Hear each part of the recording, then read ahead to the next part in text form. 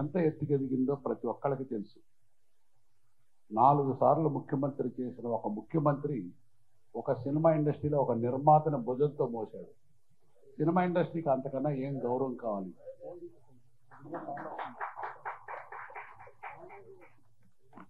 ఒక మనిషిగా పుట్టటం మనిషిగా పుట్టిన వాళ్ళందరికీ సమానం. కానీ ఒక మనిషి పోయిన తర్వాత కూడా కలకాలం గుర్తించుకోవటం ఆ మనిషి చేసిన పుణ్యాన్ని బట్టి ఆధారపడి ఉంటుంది. అందులో నాకు తెలిసినంతలో రామారావు నాగేశ్వరరావు కృష్ణ కృష్ణరాజు శోభన్ బాబు ఎస్వి రంగారావు గారు మహామహులు.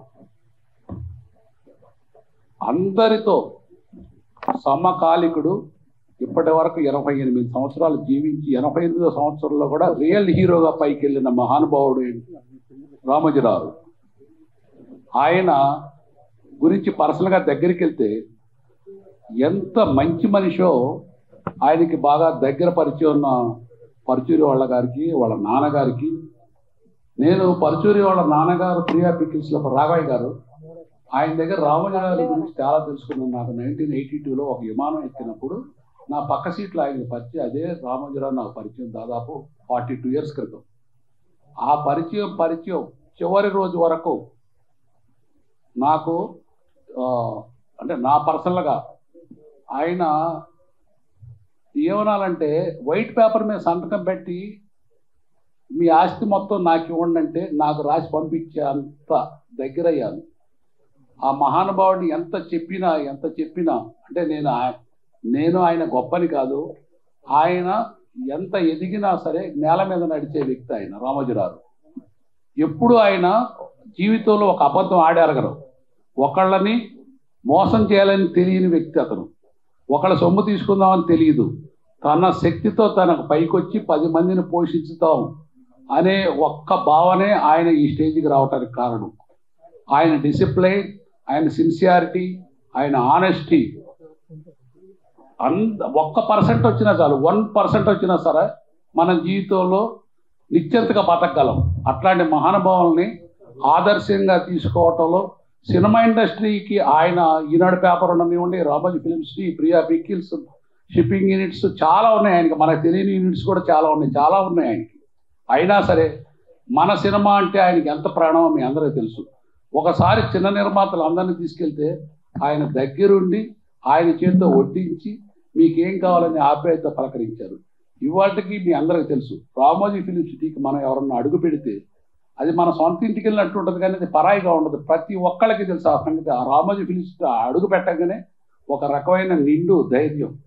దానికి కారణం రామోజీరావు మనిషి అన్న తర్వాత వెళ్ళిపోవాల్సిందే తప్పదు. అది మన చేతిలో ఉండదు. కానీ వెళ్ళిపోయిన తర్వాత ఇంకా ఇంకా ఇంకా రోజు రోజుకి ఆయన ఖ్యాతి మెరుగుపడుతూనే ఉంటుంది. ఆయన లేరని ఆ ఒక్క భావం కూడా ఉండకూడదు. ఆయన అంత ఆర్గనైజ్ చేశారు.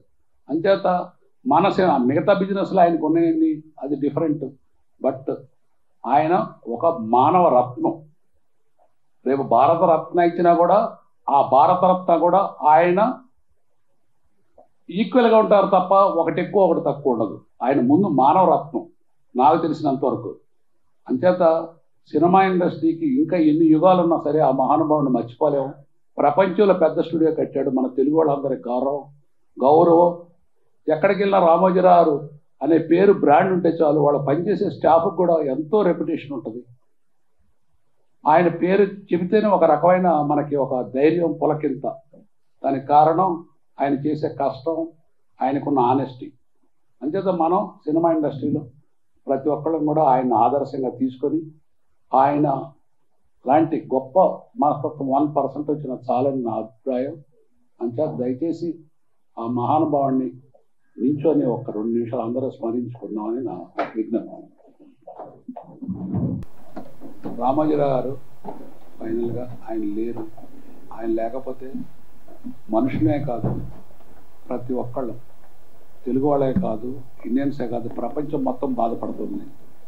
ఆయన లేరని వాళ్ళ కుటుంబానికి మన సినిమా ఇండస్ట్రీ తరపున మన అందరి తరఫున ఆయన భావాలు వాళ్ళు కొనసాగిస్తారు. కొనసాగించేంత ఉత్తములుగా వాళ్ళ బిడ్డల్ని మనవల్ని మనవరాళ్ళని కొడుకులను కూడా తయారు చేశారు.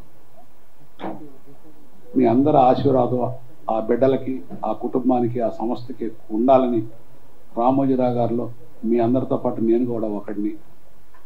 థ్యాంక్ యూ ఒక గుర్తింపు తీసుకొచ్చిన లెజెండరీ పర్సనాలిటీ రామోజీరావు గారు లేకపోవటం నిజంగా తెలుగు ఫిలిం ఇండస్ట్రీ దురదృష్టం. మద్రాసులో ఎంతో ఎన్నో స్టూడియోలు ఎంతో గొప్పగా ఉన్న ఫిలిం ఇండస్ట్రీ మద్రాసులో సినిమా అంటే మద్రాసు లేకపోతే బాంబే అనే స్టేజ్లో అందరూ మద్రాసు నుంచి ఇక్కడికి తరలి వచ్చిన సందర్భంగా అక్కడొక అక్కడ ఒక స్టూడియో అక్కడ ఒక స్టూడియో ఎక్కడెక్కడో స్టూడియోలు ఉండేవి చాలా దూరం దూరంగా. అలాంటి అందులో కొన్ని మూసేశారు కూడా ఇప్పుడు కొన్ని గవర్నమెంట్ ఇచ్చినవి కూడా మూసేశారు. అటువంటి స్టేజ్లో సినిమా అంటే పెద్ద గొప్పగా అంత డీప్ అవగాహన లేకపోయినా సినిమాల గురించి సినిమా ఇండస్ట్రీలో వచ్చే లాభాల గురించి చాలా లాభాలు వస్తేనే చేసే ఈ ఇండస్ట్రీలో ఆయన ఇవన్నీ ఆలోచించకుండా రామోజీ ఫిల్మ్ సిటీని నైంటీ సిక్స్లో స్థాపించినప్పుడు అంత పెద్దద పదహారు వందల ఎకరాలు సుమారుగా అది. అంత పెద్దది ఆయన నిర్మిస్తున్నాడు. ఏంటి దాంట్లో ఉంది అని అందరూ ఆశ్చర్యపోయారు. ఇండస్ట్రీ అందరినీ ఆయన అంతా రెడీ అయిన తర్వాత ఇన్వైట్ చేశారు. ఇదే ప్రొడ్యూసర్స్ కౌన్సిల్కి ఆయన కబురు చేసి ప్రొడ్యూసర్స్ కౌన్సిల్ నుంచి అందరిని ఇన్వైట్ చేశారు. సితారా హోటల్లో కూర్చోబెట్టి అన్ని అన్ని చూపించిన తర్వాత అడిగారు ఎట్లా ఉంది? ఎలా ఉంది మా స్టూడియో? అని. నిజంగా మద్రాసు నుంచి వచ్చిన వాళ్ళందరూ ఆశ్చర్యపోయారు అది చూసిన తర్వాత. ఇంత గొప్పగా అంటే ఒక సిటీ ఉంది ఒక రాజప్రసాదం ఉంది హైకోర్టు ఉంది పల్లెటూరు ఉంది కోనసీమ ఉంది మొత్తం ఎంటైర్ ఒక సినిమాకి కావాల్సిన ప్రతిదీ అక్కడ క్రియేట్ చేశారు. అక్కడ సినిమా చేస్తే మనం ఎక్కడికి అవుట్డోర్కి వెళ్ళక్కర్లా న్యాయంగా. చాలామంది అవుట్డోర్కి వెళ్తారు కానీ అన్ని ఫెసిలిటీస్ అక్కడే ఉన్నాయి అక్కడే చేయొచ్చు అక్కడే సినిమా బయటికి తీసుకోవచ్చు. అటువంటి స్టూడియో చూసి అందరూ స్టన్ అయిపోయారు. అందరినీ ఆయన పేరు పేరుని అడిగారు ఎలా ఉంది? మీ అభిప్రాయం ఏంటి? అలా నన్ను కూడా అడిగారు. బహుశా నేను అప్పుడు ఇక్కడ సెక్రటరీ అనుకుంటా. అడిగితే రామోజీరావు గారు చాలా ఆశ్చర్యం. అప్పటికి నేను అమెరికాలో కొన్ని స్టూడియోలు చూశా. యూనివర్సల్ స్టూడియో కానీ కొన్ని స్టూడియోలు చూసి అవి అంత గొప్పగా ఉన్నాయని ఆశ్చర్యపోయిన రోజులు. అటువంటిది నేను ఇది చూసిన తర్వాత ఇంకా ఎక్కువ ఆశ్చర్యపోయా. చాలా గొప్పగా ఉంది రామోజీరావు గారు. నెక్స్ట్ జనరేషన్స్ ఈ ఫిలిం ఇండస్ట్రీ ఉన్నంతకాలం ఈ జనరేషన్స్ టుగెదర్ మీ దాంట్లో షూటింగ్ చేయాలి. అంత గొప్పగా ఉంది. అన్ని ఫెసిలిటీస్ మీరు కల్పించారు. చాలా నిజంగా మీకు అభినందనలు తెలుపుతున్నాను ఇండస్ట్రీ తరఫున అని చెప్పంటే భుజం మీద తట్టి ఒక చిన్న నవ్వు నవ్వారు. చాలా సింపుల్ అన్నట్టుగానే నవ్వారు. నిజంగా చూస్తే ఆ తర్వాత బాహుబలి లాంటి సినిమా తీయాలంటే అటువంటి స్టూడియో కాబట్టి వీలైంది. అలాంటి సినిమాలు అనేక గొప్ప సినిమాలు అక్కడ తయారైనాయి. ఆయన కూడా అంతకన్నా ఎక్కువ గొప్ప సినిమాలు తయారు చేశారు. అటువంటి రామోజీ గారు ఈ రోజు లేకపోవటం నిజంగా ఫిలిం ఇండస్ట్రీ దురదృష్టం. అయితే ఆయనకు ఒక గొప్ప ఆనందకరమైన రోజు ఏంటంటే అక్కడ ప్రభుత్వాలు మారటం ఆంధ్రప్రదేశ్ ప్రజలు చాలా గొప్పగా సంతోషించే రోజు. అలాగే ఆయన సంతోషించి కన్నుమూసుంటారని నేను అనుకుంటున్నాను ఆ రోజు ఆయనకి అటువంటి శుభవార్త తెలిసి ఆయనకి చాలు నా పోరాటం. నిజంగా అందరికన్నా ఎక్కువ ప్రజలందరికన్నా కూడా ఎక్కువ పోరాటం చేసిన ఆయనే. ప్రజల్లో చైతన్యవంతం తీసుకొచ్చింది ఆయనే. అటువంటి రామోజీరావు గారు ఆ మంచి వార్త విన్న తర్వాత సెలవు తీసుకోవటం నిజంగా కాకతాళీయం కాకతాళీయమైన దురదృష్టం అందరూ విచారించదగ్గ విషయం. ఆయనకి ఆయన కుటుంబానికి అందరికీ సానుభూతి తెలుపుతూ సెలవు తీసుకుంటాం థ్యాంక్ యూ. రామోజీరావు గారితో మాకు రెండు రకాల అనుబంధాలు ఇందాక చదలవాడి శ్రీనివాస్ గారు చెప్పినట్టుగా మేము రామోజీరావు గారి సినిమా మౌన పోరాటం రాసింది పంతొమ్మిది వందల ఎనభై తొమ్మిదిలో. కానీ మా అమ్మగారు నాన్నగారు ఇద్దరు ప్రియా పచ్చళ్ళ కంపెనీలో వాళ్ళిద్దరూ పనిచేసేవారండి. ఇప్పుడు మీరు తింటున్న ప్రియా పచ్చళ్ళన్నీ మా అమ్మగారిదే మొత్తం అదంతా కూడా. ఆవిడ ఈ కిలోకి ఏదేది వేయాలి అనేది అలా కాగితం మీద రాసిచ్చి ఎప్పటికీ కూడా ఆ పచ్చళ్ళలో మా అమ్మగారిదే నడుస్తుంది. కాబట్టి ముందు అనుబంధం మా అమ్మగారి నాన్నగారు. మేము మౌన పోరాటం దాకా వారితో కలిసి పనిచేయలేకపోయేవాడిని. ఎందుకంటే మీకు తెలుసు పంతొమ్మిది వందల ఎనభై రెండు ఎనభై మూడులో సక్సెస్లు వచ్చిన తర్వాత విపరీతమైనటువంటి ఒత్తిడి సంవత్సరానికి ఇరవై ముప్పై సినిమాలు. ఆయనకి అలా కుదరదండి. ఆయనకి రావాలి కూర్చోవాలి వినాలి రాయాలి ఒకటి రెండు సార్లు రాసి బైండ్ ఇవ్వాలి. అంత ఇచ్చే పరిస్థితి లేని సమయంలో అలా. కానీ ఈ మౌన పోరాటానికి మాత్రం అంటే అద్భుతమైన సినిమా అంతకు ముందే తీశాడండి ఆయన. ప్రపంచం అంతా ఒకసారి నిస్తేజం అయిపోయిన సినిమా ప్రతిఘటన. అసలు ఆ సినిమాతోనే సినిమా అంటే కేవలం వినోదం కాదు విజ్ఞానం కూడా. ప్రజల్లో మార్పు తీసుకురావాల్సింది ఈ సినిమా ప్రపంచమే అనేటువంటి ఒక అద్భుతమైనటువంటి నీతిని ఆయన సినిమా ప్రపంచానికి అందించాడండి ప్రతిఘటనతో. ఆ తర్వాత ఎవరో ఒక అమ్మాయి ఆవిడ చిన్న అన్యాయానికి గురైతే మౌన పోరాటం చేసి ఆ అమ్మాయి గెలిచినటువంటి ఒక పేర అది చూసి మోహన్ గాంధీ గారిని దర్శకుడిగా పెట్టి మమ్మల్ని పిలిపించి ఇది మీరు రాయాలి. ఆర్డర్ వేయండి. సార్ ఎంత ఉంది మాకు తెలియదు ఇది. ఎంత ఉన్నా అది వాళ్ళ హృదయాల్లోకి వెళ్ళిపోయేలాగా తయారు చేయాలి. అన్నప్పుడు ఆ మౌన పోరాటం సినిమా మీలో చాలామంది చూసి ఉంటారు. అది ఒక అద్భుతం అండి అంతే. ఒక చిన్న డౌన్ ట్రాడన్ లేడీ అంత పోరాటం చేస్తుందా? అలా గెలవగలదా? ఇది నిజమేనా అని ఎవరు అడగలేదండి. అది నిజమే అని నమ్మారండి. అలా ఆ చివరిలో కాసేపు తడబడ్డామండి వాళ్ళిద్దరిని కలిపిన తర్వాత నా బిడ్డని అతను ఒప్పుకున్నాక ఆ భార్యాభర్తలతో కలిపి ముగిద్దామండి అంటే ఆయన ఒప్పుకోలే. క్వశ్చన్ లేదు ఆయన వెళ్ళిపోవాలంటే ఆ పాపను తీసుకుని ఆయన వెళ్ళిపోతా. ఆ లాస్ట్ షాట్ వేయించాడు. ఆ తర్వాత ఇంకా నాలుగైదు సినిమాలు రాసామండి. బట్ ఈ సినిమా అనేది మౌన పోరాటం మాకు జీవితంలో అంటే నీ వెనకాల ఏమున్నాయి సినిమాలు? అంటే మనం ఈనాడు ఒకటి మౌన పోరాటం ఒకటి ఇట్లా ఒక మేము రాసిన నాలుగు వందల సినిమాల్లో పది సినిమాలు చెప్పుకోగలమండి ఎందుకంటే ప్రపంచం మొత్తం కూడా దాన్ని మెచ్చింది. అలాంటి సినిమాల్లో రెండు వారి దగ్గర వచ్చినాయి అంచేత పత్రికా ప్రపంచం అండి ముందు. నా క్షర అక్షర క్షరము లేనిది అక్షరము. అంటే నాశనము లేనిది అక్షరం. ఆయన అక్షర యోధుడు. అక్కడ పెట్టుకుంటాం మనం హెడ్డింగ్ లైన్ని. అక్షరాన్ని ఆయుధంగా చేసి అక్షరం బాణంగా వెళ్ళి కొట్టడం ఏంటండి అసలు? ఎవరైనా కొట్టగలరా? ఆ ధైర్యం ఉండాలిగా ముందు. నేనేమైపోతానో నా పేపర్ ఏమైపోతుందన్న భయం ఉంటుందిగా. అవేమీ కూడా లేకుండా ఒక అద్భుతంగా పత్రికా ప్రపంచంలో ఈనాడు అనేది వచ్చిన తర్వాత వచ్చినటువంటి సంచలనమైన మార్పు మిగతా పత్రికల్లో కూడా అప్పుడు చాలా ఉండేయండి. ఆంధ్రపత్రిక ఆంధ్రజ్యోతి విశాలాంధ్ర ప్రజ ఇలా మాకు చాలా ఉండేవి మా పత్రికలు. కానీ గవిక్రి అరే పేపర్ చూసావా ఇదంటే? ఏమనేవారు తెలుసా అండి? ఈనాడులో పడిందా అని అడిగేవారు. అంటే ఈనాడులో ఉంటే నమ్మండి అని. ఎంత విశ్వాసాన్ని సంపాదించాడు మహానుభావుడు. హ్యాట్స్ ఆఫ్ అండి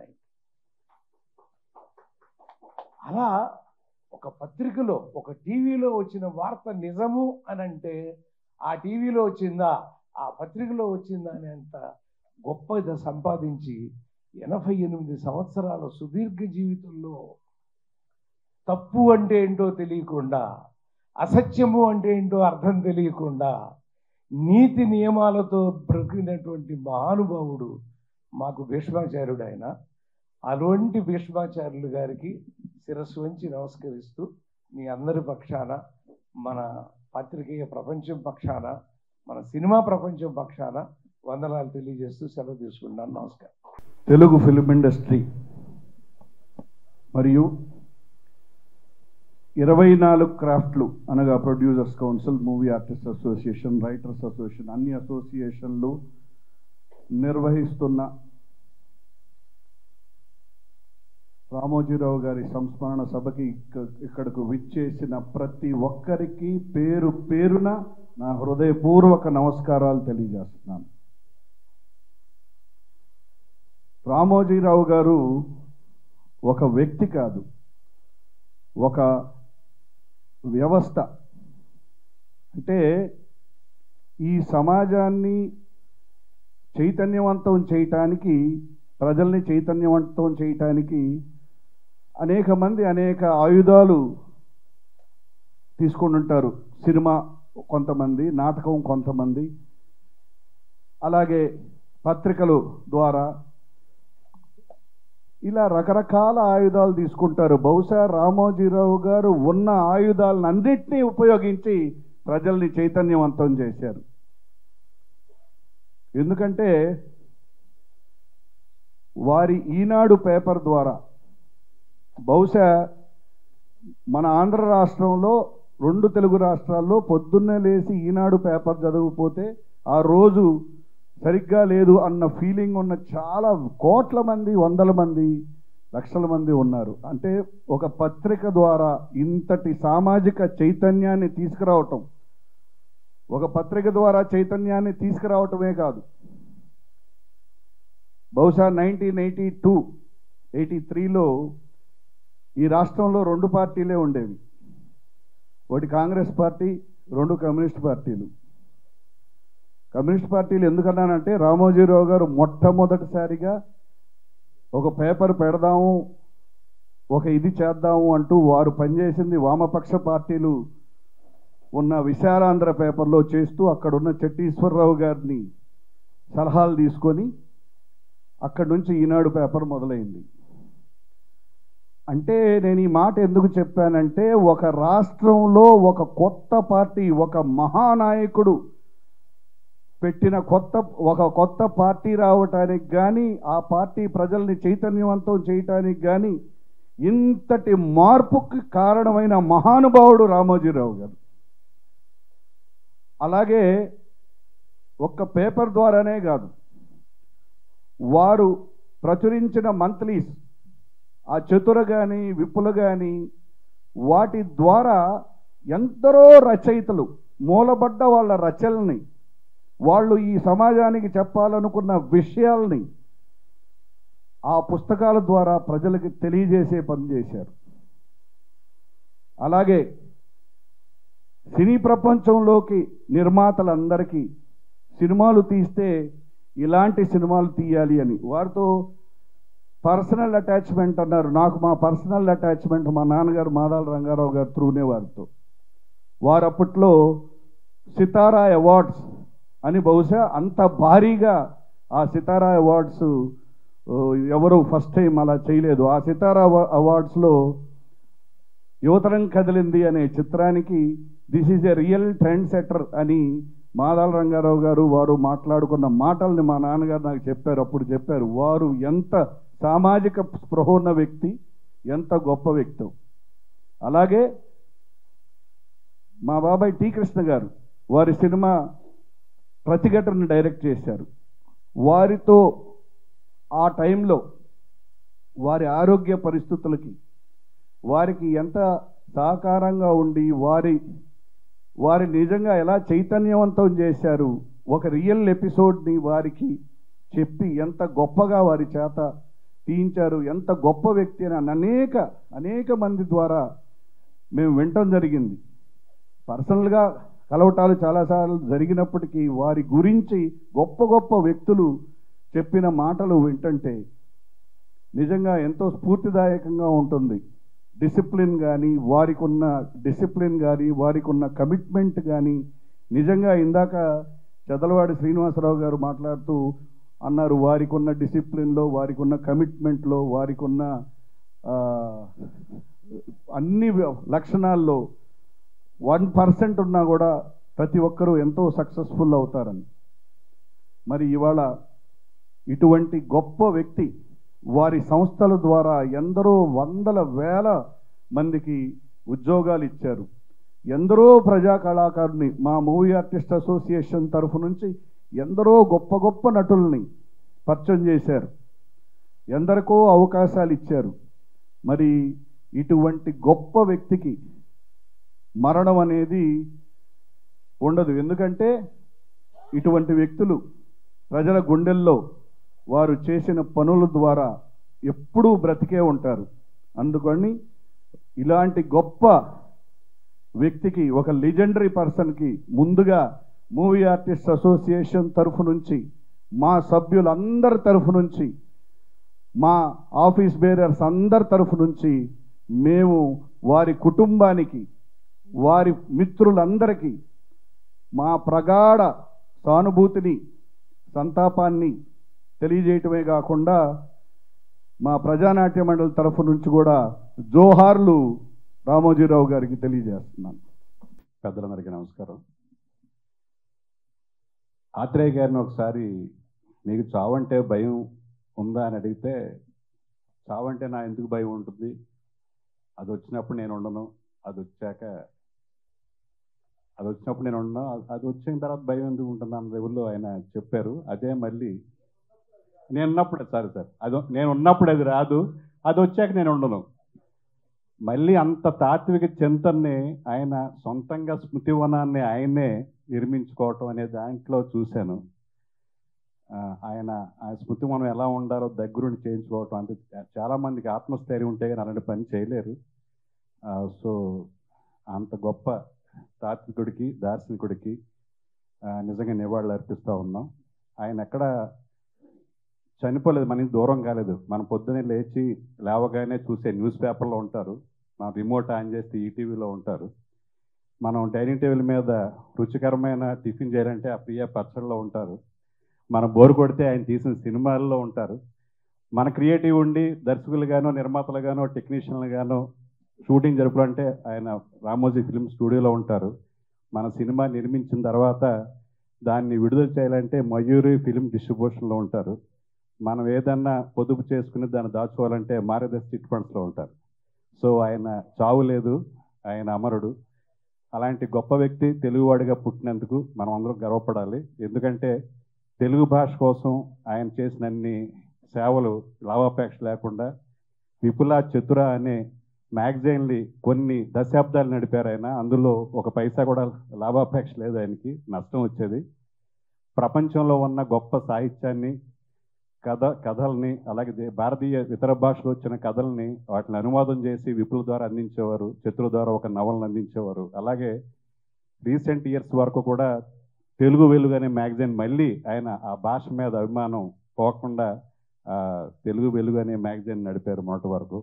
ఈ డిజిటల్ యుగంలో వెబ్సైట్స్ రాజ్యం టైంలో ఆ తెలుగు వెలుగు కూడా ఆయన రీడర్స్ లేక వెబ్సైట్లోనే నిర్వహిస్తూ ఉన్నారు. సో అలాంటి వ్యక్తి తెలుగు భాషకి ఆయన చేసిన సేవ కానీ అలాగే రైతు బిడ్డగా ఆయనకున్న అభిమానం కూడా అన్నదాత అనే ఓ మ్యాగజైన్ని రైతుల కోసం నడిపేవాళ్ళు. సో సంపూర్ణమైన జీవితం ఎన్నో గొప్ప విజయాలు. అలాంటి వ్యక్తి అన్ని రంగాల్లోనూ అటు పాత్రిక రంగంలోనూ సినిమా రంగంలోనూ ఎన్నో గొప్ప సినిమాలు. అంటే ఆయన చేసిన సినిమాల్లో ఎంతో మందికి స్ఫూర్తి కలిగించే పరుచుడు గారు చెప్పారు. ప్రతిఘటన అనే సినిమా మేము చిన్నప్పుడు చూసి బయటకు వస్తుంటే ఎవరైనా రౌడీ కనిపిస్తే వాడిని ఇరగకూడదామన్నంత ఇన్స్పిరేషన్ వచ్చేది. అలాగే ఒక ఎథ్లెట్ని ఎథ్లెట్స్ని ఇన్స్పైర్ చేయడానికి అశ్విని నాచప్ప జీవితాన్ని తీయటం కానీ అలాగే ఒక కాలు కోల్పోతే మళ్ళీ ఆమె గొప్ప నాట్య మయూరిగా ఒక ఆర్టిఫిషియల్ లెగ్ పెట్టుకున్న సుధాచంద్రన్ జీవితాన్ని మయూర్ అనే సినిమాగా చేయటం కానీ పరుచురి గారు పనిచేసిన మౌన పోరాటం ఒక ఎవరో ఒక గిరిజన యువతి ఒక మౌన పోరాటం తాను అన్యాయం చేసిన వ్యక్తి మీద చేయటం అనేది అలాంటి అన్యాయం చాలా మంది ఉంటుంది వాళ్ళకందరికీ ఒక చైతన్యవంతం చేరిన దృష్టితో అయిన మౌన పోరాటం అనేది అది హిట్ అవుతుందో లేదో కమర్షియల్గా అవుతుందో లేదో తెలియకుండా ఒక కమిట్మెంట్తో అలాంటి ఎవరైతే ఆడవాళ్ళు ఎవరైతే అన్యాయం గురయ్యారో వాళ్ళందరికీ ఒక చైతన్యవంతం చేయాలనే దృష్టితో ఆ సినిమా చేయడం కానీ అలా ఆయన అన్ని సినిమాలు కూడా ఎక్కడ వలగాటి లేకుండా ఫ్యామిలీ మొత్తం చాలా ఆరోగ్యకరమైన సినిమాలని ఆయన రూపొందించారు. సో అలాంటి గొప్ప వ్యక్తికి మనం హైదరాబాద్ రామారావు గారు చెప్పినట్టు ఒక వరల్డ్ సినిమా అలాగే భారతీయ సినిమా మళ్ళీ మద్రాసు ముంబై కాకుండా హైదరాబాద్ని ఒక సెంటర్ చేశారు. రామోజీ ఫిల్మ్ సిటీ అనే గొప్ప ప్రపంచంలో అతిపెద్ద స్టూడియో చేశారు. అలాంటి వ్యక్తికి మహనీయుడికి మా దర్శకుల సంఘం తరఫున నివాళులు అర్పిస్తూ సెలవు. భారతంలో భీష్ముడికి తను ఎప్పుడు చనిపోవాలో తెలిసినట్టు అందుకనే తను అధర్మ యుద్ధం చేస్తూ ఇక చాలు ఈ యుద్ధం ఎందుకంటే అధర్మ యుద్ధం చేయాల్సి వస్తుంది. రాజు మాట వినాలి కాబట్టి. అధర్మ యుద్ధం చేస్తూ తను ఇక చాలు అనుకొని తను తను చాలించాడు. తనకు తెలిసి. అలాగే రామోజీరావు గారు ధర్మ యుద్ధం చేస్తూ తను ఎప్పుడు తను చాలించాలో తెలిసి తాను అనుకున్నది నెరవేరిన తర్వాత తను హ్యాపీ హ్యాపీగా చనిపోయాడు అని అనుకున్నది సాధించిన తర్వాత. ఎందుకంటే మీరు ఆయన ముఖం చూస్తే చనిపోయినట్టుగా అనిపించదు. హ్యాపీగా నవ్వుతూ ఉన్నట్టుగా ఉంటుంది. అంటే మనస్ఫూర్తిగా ఆయన నిష్కృపణించారు. అలాంటి రామోజీరావు గారికి నా హృదయపూర్వక శ్రద్ధాంజలిగా చెప్తున్నాను. థ్యాంక్ యూ రామోజీరావు గారి గురించి నేను చెప్పడానికి అర్హుండండి. ఎందుకంటే ఆయన ఫుడ్ తిన్నాను నేను. ఉషాకర్ మూవీస్లో వర్క్ చేసి ఉన్నానండి. గవర్నమెంట్ శాలరీ ఒకటి రెండు తారీఖులు వస్తో తెలియదు కదండి. మేము వర్క్ చేసేటప్పుడు ఫస్ట్ తారీఖు మాకు చెక్లు వచ్చేసేయండి. తర్వాత చాలామందికి కొన్ని విషయాలు తెలియదండి. మనం ట్యాక్స్ కట్టాలి ఐటీ రిటర్న్స్ ఉంటాయి ఇవన్నీ ఇండస్ట్రీకి పరిచయం చేసిన వ్యక్తి ఆయనేనండి. మీకున్న దానిలో కొంచెమైనా దాచుకోండి. ఫర్దర్గా అది ఉపయోగపడుతుంది. దీన్ని కట్టడం వల్ల చాలా ఉపయోగాలు అని చెప్పిన వ్యక్తి ఆయనేనండి. అంతేకాదు మనం లేచిన దగ్గర నుంచి ఏ సినిమా జరగాలన్నా ప్రతి ఒక్కరు నేను చేసిన నేను ఆల్మోస్ట్ ఒక పదిహేను సినిమాలు చేశానండి. అసిస్టెంట్గా అసోసియేట్గా కూడా ఇటుగా డైరెక్టర్గా కూడా చేశాను. నా ప్రతి సినిమా ఫిల్మ్ సిటీలోనే జరిగిందండి. ఇక్కడున్న ప్రతి దర్శకుడు నాకు తెలిసి నైంటీ నైన్ పర్సెంట్ అతిశయోక్తి కాదు ప్రతి వాళ్ళు ఫిల్మ్ సిటీలో చేసిన వాళ్ళే. అలాంటి వ్యక్తి మన మధ్య లేరు అనండి ఎందుకంటే ఇందాక వీరశంకర్ గారు చెప్పారు మన ప్రతి కదలికలోనూ సినిమా ఇండస్ట్రీ ప్రతి కదలికలోనూ ఆయన ఉంటారండి. ఒక మనిషి ఎదగడానికి ఊర్లో గొప్ప అనిపించుకుంటాడు మండలంలో గొప్ప అనిపించుకుంటాడు జిల్లాలో అనుకుంటాడు లేకపోతే రాష్ట్రం అనిపించుకుంటాడు. దేశం గర్వించదగ్గ వ్యక్తి అండి ఈయన. సో మనం ఇప్పటి వరకు మొన్న May fourth directors day Dasari Narayanarao garu ఎలా అయితే ఒక డేని అనుకున్నామో అలా గురుగారు రామోజీరావు గారికి కూడా మన ఇండస్ట్రీ తరఫున అందరూ ఒక డే అనుకొని ఆయనకి సెలబ్రేషన్ చేస్తే బాగుంటుందని నా ఉద్దేశం అండి. Thank you thank you so much. సభకు నమస్కారం. నా పూర్తి పేరు ఉమర్జీ అనురాధ నేను తెలుగు సినీ రచయితల సంఘం ప్రధాన కార్యదర్శిని. నాకు మా చైర్మన్ గారితో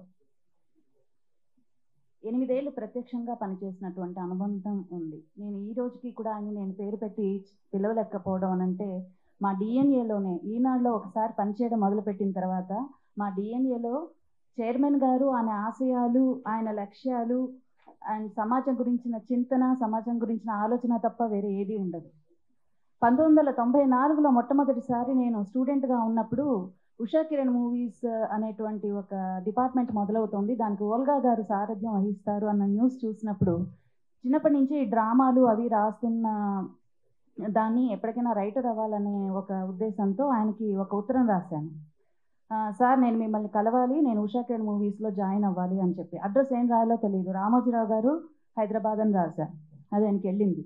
తర్వాత ఆయన నాకు నా ఆయన అసిస్టెంట్ ఉండేవారు ప్రభాకర్ గారని. ఆయన చేత నాకు ఒక కార్డ్ రాయించారు. అంటే చైర్మన్ గారు ఇలా మెడ్రాస్కి పాసన్ మేనర్లో ఒక ఆఫీస్ ఉంది. ఇప్పటికీ ఒక ఉంది. అప్పుడు మాకు త్రీ ఫ్లోర్స్లో ఆఫీస్ ఉండేది. సో అక్కడికి పలానా రోజు వస్తున్నారు. మీరు వచ్చి వాళ్ళని కలవచ్చు అని. సో ఆయన మీట్ అవుతుంటే నేను రైటర్ ఆల్రెడీ అయిపోయాను అన్న ఒక హై దీంతో వెళ్ళాను. వెళ్తే ఇంత చిన్నపిల్లవి నువ్వు సినిమాల్లో రాస్తావా? అవును సార్ రాస్తాను అన్నాను. అంటే ఏం చేస్తున్నావు అంటే ప్రెసిడెన్సీ కాలేజ్లో ఎంఏ చేస్తున్నాను సార్ ఫస్ట్ ఇయర్ అని అన్నాను. ఎందుకని ప్రెసిడెన్సీ కాలేజ్లోనే చేస్తున్నావు అని అంటే ప్రెసిడెన్సీ కాలేజ్ సార్. అక్కడ చిన్నయ్య సూరి గారు ఉన్న చేశారు కందుకూరి వీరేశలింగం గారు చేశారు. మనకు వచ్చిన నోబెల్ విన్నర్స్లో ముగ్గురు ఆ కాలేజ్ నుంచే ఉన్నారు. అదిగో ఆ సముద్ర తీరంలోనే శ్రీశ్రీ గారు వెళ్ళారు చలం గారు తిరిగారు. ఇలాగ అసలు ఒక ఐదు నిమిషాలు పది నిమిషాలు అనర్గళంగా దాని గురించి నా భావవేశాన్ని చెప్పినప్పుడు నువ్వు ఇప్పుడు నాతో చెప్పిందంతా కాగితం మీద పెట్టి తీసుకురా అప్పుడు నేను డిసైడ్ చేస్తాను అన్నారు అంటే ఎప్పుడు తీసుకురావాలి సార్? అంటే నేను ఇక్కడ మూడు రోజులు ఉంటాను నువ్వు ఇంటికి వెళ్ళి బాగా ఆలోచించుకొని చక్కగా రాసి తీసుకురా అది చూశాకే నేను డిసైడ్ చేస్తాను అన్నారు. నేను ఇంటికి వెళ్ళాలంటే ఇక్కడ నుంచి ఇంట్లో అప్పుడు మా మనలి పుదునగర్ అంటే అక్కడ నుంచి టూ అవర్స్ జర్నీ. ఇప్పుడు నేను వెళ్ళి రెండు గంటలు ఇంటికి వెళ్ళి మళ్ళీ రేపు పొద్దున రాసి తీసుకొని మనసు మార్చుకుంటే మళ్ళీ మళ్ళీ మనకు సమస్య అవుతుంది. నేను అంతవరకు వెయిట్ చేయలేను అని మీరు తెల్ల ఇప్పిస్తే నేను ఇప్పుడే రాస్తాను సార్ అన్నాను. అంటే ఆయన అక్కడ తంగసామి అని చెప్పి ఒక బాయ్ ఉండేవాడు. అతను పిలిచి ఈ అమ్మాయికి తెల్లకాయతాలు పెన్ను ఇవ్వు కూర్చోడానికి మంచి కుర్చీ టేబుల్ ఇవ్వన్నారు సో ఆయన ఎవరు ఎవరితోనో మీటింగ్లు చేసుకుంటున్నారు. నేను అక్కడే కూర్చొని ఒక టూ అవర్స్లో ఒక పదిహేను పేజీలు నాకు తెలిసినట్టుగా రాసి ఇచ్చాను. ఇచ్చాక అది ఆయన చదివారు. చదివి సరే నాకు ఆకలేస్తుంది నేను లంచ్ చేయాలి తర్వాత రా అన్నారు. నాకు కూడా ఆకలేస్తుంది సార్ అన్నాను. అంటే ఆయన ఒకసారి ఎగదిగా చూసి సరేనని పెరుగన్నం ఆవకాయ ఆయనతో పాటు కలిసి అంటే అప్పుడు విలువ తెలియదండి ఇప్పుడు అవన్నీ తలుచుకుంటే నా అదృష్టం. ఆయన ఆయన ఆయన గురించి తెలిసి కొద్దీ ఆయనతో గడిపిన క్షణాలన్నీ విలువైన జ్ఞాపకాలుగా మారిపోతున్నాయి. అలా ఆయనతో కలిసి ఆవకాయ పెరుగన్నం తిన్నాను. తిన్న వెంటనే ఆయన అన్నారు అమ్మ నువ్వు రాసింది చదివాను బాగుంది. అయితే నీలో ఆవేశం నీ ఇదంతా చూస్తూ ఉంటే నువ్వు జర్నలిజంకి బాగా పనికొస్తావు. ఒక తండ్రిలా చెప్తున్నాను. నువ్వు ఏం చేస్తావు అంటే మనకి ఈనాడు ఆఫీస్ ఉంది కంట్రిబ్యూటర్గా జాయిన్ అవ్వు అన్నారు. అంటే ఎప్పటి నుంచి జాయిన్ అవ్వను సార్ అన్నా. అని సార్ అందులో బాగా మరి మరి రైటర్ సార్ అని అంటే నా చేత నువ్వు అనిపించు నువ్వు రైటర్ అవుతావు అని నా చేత అనిపించు. నీకు ఒక అవకాశం ఇచ్చాను కదా నువ్వు పని చేయి అన్నారు. ఇంకా మర్నాటే ఆఫీస్కి వెళ్ళిపోయి అక్కడ కంట్రిబ్యూటర్గా జాయిన్ ఎప్పటికప్పుడు ఏంటంటే చైర్మన్ గారు తనంతట తాను అనురాధ నువ్వు చాలా పెద్ద రచయిత్రివి నువ్వు రా అని అంటారని నాకు ఒక ఆవేశం. ఆయన ఏంటంటే అప్పట్లో ఆయన స్వహస్తాలతో బాగున్న ఆర్టికల్స్కి గుడ్ అని కామెంట్ రాసేవారు. సో ఆ గుడ్ కామెంట్లు ఎన్ ఎన్ని వస్తే అంత త్వరగా ఆయన నన్ను కన్సిడర్ చేస్తారు అని ఇంకా బాగా కష్టపడి పనిచేస్తే ఆఖరికి ఒక నెలలో డెబ్బై ఎనిమిది గుడ్ కామెంట్లు వచ్చాయి. డెబ్బై ఎనిమిది గుడ్ కామెంట్లు వచ్చేసరికి అప్పుడు మా నాగేంద్ర గారని నాకు అప్పుడు బాస్ అక్కడ స్టాఫ్ రిపోర్టర్ అండ్ మేనేజర్ గారు కృష్ణమూర్తి గారు. సో కృష్ణమూర్తి గారు ఉమర్జీ నీతో మాట్లాడాలి సాయంత్రం ఆఫీస్ అయిపోగానే నా ఛాంబర్కి రా అన్నారు. నేను ఇంకా ఊహించుకున్నాను ఓహో చైర్మన్ గారు ఫోన్ చేసి ఉంటారు ఆల్రెడీ ఎస్టీడీ చేసేసి ఉంటారు నన్ను ఇంకా రేపటి నుంచి ఉషా అకాడమీస్కి వెళ్ళిపోతాను అని ఊహించి వెళ్ళి చైర్మన్ గారు కాల్ చేశారా సార్ అని అడిగితే అదేం లేదు. చైర్మన్ గారు నీకు డెబ్బై ఎనిమిది గుడ్ కామెంట్లు వచ్చినందుకు ఇన్సెంటివ్ ఇమ్మన్నారు అని చెప్పి ఒక రెండు వేల రూపాయలు ఇచ్చారు. ఇది దగా మోసం. నేను ఎక్కువ గుడ్ కామెంట్లు ఇస్తాను. ఉషా కిరణ్ పంప్ తీసుకుంటారు అనుకున్నాను అనుకుని అప్పటి నుంచి ఒక వన్ ఇయర్ అయ్యేసరికి స్టాఫ్ రిపోర్టర్గా తీసుకుంటామన్నారు. ఆ జాబ్ వాల్యూ నాకు అప్పుడు తెలియదు నేను రైటర్ అవ్వాలనుకుంటే మళ్ళీ నన్ను జర్నలిస్ట్గా తీసుకుంటారు. జా స్టాఫ్ రిపోర్టర్ అంటే ఏంటి సార్ అని అడిగా. లేదు you'll be a permanent employee of Eenadu. అని అన్నారు అంటే సరే ముందు చేరిపోదాం. అప్పుడు నాకు తెలిసింది ఏంటంటే మూడు నెలలకు ఒకసారి చైర్మన్ గారే డైరెక్ట్గా మీటింగ్స్ ఉంటాయి. సో ఇందులో ముందు జాబ్లో చేరిపోయి మూడు నెలల తర్వాత చైర్మన్ గారితో డైరెక్ట్ మీటింగ్ ఉన్నప్పుడు అప్పుడు కాళ్ళ వెళ్ళ పడిపోయి ఎలాగైనా సరే ఉషా కిరణ్కి వెళ్ళిపోదాము అని ఆశయం. సరే అని చేరిపోయాను. కానీ చేరిన తర్వాత నాకు అర్థమైంది ఏంటంటే I was the first employee who has been taken without journalism అది నాకు తెలీదు. నేను నేను అది సాధించానని కూడా నాకు తెలియదు అప్పుడు. మూడు నెలల తర్వాత ఆయన ఫస్ట్ నేను మీట్ అవుతున్నప్పుడు తిరుపతిలో first meeting was a very memorable meeting ఆయన చూడగానే ఆయనకు తెలిసింది నా ఆయన ఏంటంటే మనల్ని చూడగానే మన మనసులో మేము మనం ఏం అడగాలనుకుంటున్నాం అనేది ఆయనకు అర్థమైపోతుంది. సో మన క్వశ్చన్ వేయకుండానే ఆయన ఆన్సర్ చెప్తారు. నేను వెళ్ళి ఇలా నిలబడి ఎప్పుడెప్పుడు అడుగుదామో ఒక గ్యాప్ దొరికితే అడుగుదామని చూస్తూ ఉంటే ఉమర్జీ నువ్వు జర్నలిస్ట్గా చాలా పైకి వస్తావు నన్ను నమ్ము ఇంకా పిచ్చి పిచ్చి ఆలోచనలు బుర్రలోంచి తీసేయి. నేనే నీతో విసిగిపోయి నేను చెప్పేదాకా నువ్వు నువ్వు పని చేస్తూనే ఉండు అన్నారు. అనేసరికి ఈయనకు అర్థమైపోయింది. అక్కడి నుంచి సార్ నూట ఇరవై ఐదు మంది పొలిటికల్ రిపోర్టర్స్ ఉంటే నేనున్న టైంలో నేను ఒక్కదానే అమ్మాయిని ఈనాళ్ళు మాకు ఎలక్షన్స్ టైంలో మీటింగ్స్ పెడతారు. ఎలక్షన్ కవరేజ్ ఎలా చేయాలి? మనం ఎలా నైతిక విలువలను పాటించాలి? మనం అంటే ఆ ఆ మీటింగ్స్ విలువ ఇప్పుడు తెలుస్తుంది నాకు. అంటే వాళ్ళు బాధ్యత గల విలేకరిగా మనం ఎలా ఉండాలి అనేది మనకు ఒక ఏమంటారు మోరల్ క్లాసెస్ అవన్నీ. అలాంటి క్లాసులు కండక్ట్ చేసినప్పుడు నూట ఇరవై ఐదు మంది అబ్బాయిల మధ్య నేను ఒక్కదాన్ని అమ్మాయిని. నాకు చైర్మన్ గారికి మన మీద అభిమానం ఉంది అనేది నాకు అర్థమైన తర్వాత ఈ బ్యాక్ బెంచ్ స్టూడెంట్ స్టూడెంట్లా తయారవడం మొదలుపెట్టా. అంటే అప్పుడు మా ఎండి గారు రమేష్ బాబు గారు వారు లేరు ఇప్పుడు. వారు క్లాసులు తీసుకుంటుంటే వెనకాల కూర్చొని కామెంట్లు చేయడం మాకు తెలుసు సార్ మేము చేస్తాం సార్ అంటే ఇలాంటివన్నీ. ఇది కూడా ఆయన దగ్గరికి రిపోర్ట్ వెళ్ళింది. వెళ్ళి నువ్వేంటి? దబాయించడం మొదలు పెట్టావంట నీ మీద కంప్లైంట్లు వస్తున్నాయి. సరిగ్గా బుద్ధిగా పనిచేయని ఆయన కేకలేసేటప్పుడు కూడా అది మనకి వినబుద్ధి అవుతుంది జస్ట్ లైక్ మా ప్రెసిడెంట్ గారు కూడా అప్పుడప్పుడు కేకలేస్తుంటారు. మనకి వినబుద్ధి అవుతుంది అది ఓకే ఇదేదో బాగానే ఉంది. మనల్ని పొగుడుతున్నారా? యాక్చువల్లీ మనల్ని తిట్టారు అనేది మనం తర్వాత వెళ్ళి బ్యాక్ వెనక్కి వెళ్ళి ఆలోచిస్తే కానీ అర్థం కాదు. నేను అప్పటికప్పుడు మనకి మనల్ని ఏదో పొగుడుతున్నారని అనిపిస్తుంది. మా చైర్మన్ గారు కూడా మమ్మల్ని అలాగే తిట్టేవారు. సో అలా క్లాస్ తీసుకున్నారు and nineteen ninety six assembly ఎలక్షన్స్లో నేను uh, నాకు బెస్ట్ రిపోర్టర్ అవార్డు కూడా వచ్చింది. అప్పుడు ఇలాంటి అచీవ్మెంట్స్ వచ్చినప్పుడు నా మాకు దొరికిన నాకు దొరికిన ఒక అద్భుతమైన మెమరీ ఏంటంటే ఆయన డైరెక్ట్గా ఫోన్ చేసి మెచ్చుకునేవారు. చాలా బాగా చేసావమ్మా అని. అలా అన్నా డిఎంకే పార్టీ వాళ్ళ మీద నేను రాసినటువంటి ఇన్వెస్టిగేటివ్ స్టోరీస్ నా టైంలో ఎవరు రాలేదు అని చెప్పి ఇప్పుడు అనిపిస్తుంది ఇప్పుడు అర్థమవుతుంది నాకు. ఆ టైంలో నేను చేసిన పని విలువ నాకే తెలియదు ఒకసారి అన్నా డిఎంకే వాళ్ళ పార్టీ కార్యకర్తలే దొంగసారా కాస్తుంటే దాని ఫోటోలు తీసివేస్తే అప్పటిదాకా ఏంటంటే మా ఈనాడు తమిళనాడు ఎడిషన్ ఇలా మడత పెట్టి మామూలుగా ఇలా మడత పెట్టి ఉంటుంది డిస్ప్లేలో. ఆ రోజు ఏంటంటే ఫుల్గా డిస్ప్లే చేశారు ఇలా క్లిప్ పెట్టి. క్లిప్ పెట్టి డిస్ప్లే చేసేసరికి అది ఎవరో చూసి ఆ, న్యూస్ టూ డేస్లో చైర్మన్ గారి దగ్గరికి వెళ్ళిపోయింది. ఆయన కాల్ చేసి I'm very proud of you Umarji. మన పేపర్ని మడత విప్పి తగిలించేలా చేసావు I'm very proud of you అని అన్నారు. అప్పటి నుంచి ఏంటంటే ఈ మడత విప్పకుండా ఇలాగే అది ఓకే మడత విప్పి తగిలించడం అనేది అచీవ్మెంట్ మాట అని అర్థమై అప్పటి నుంచి అలాంటి స్టోరీలు ఏం రాయాలా అని కొన్ని స్టోరీస్ చేసా వల్లువర్ కోటంలో విచారఘట్టం ఆ స్టోరీ వచ్చినప్పుడు కూడా ఆయనే స్వయంగా ఫోన్ చేసి మెచ్చుకోవడం.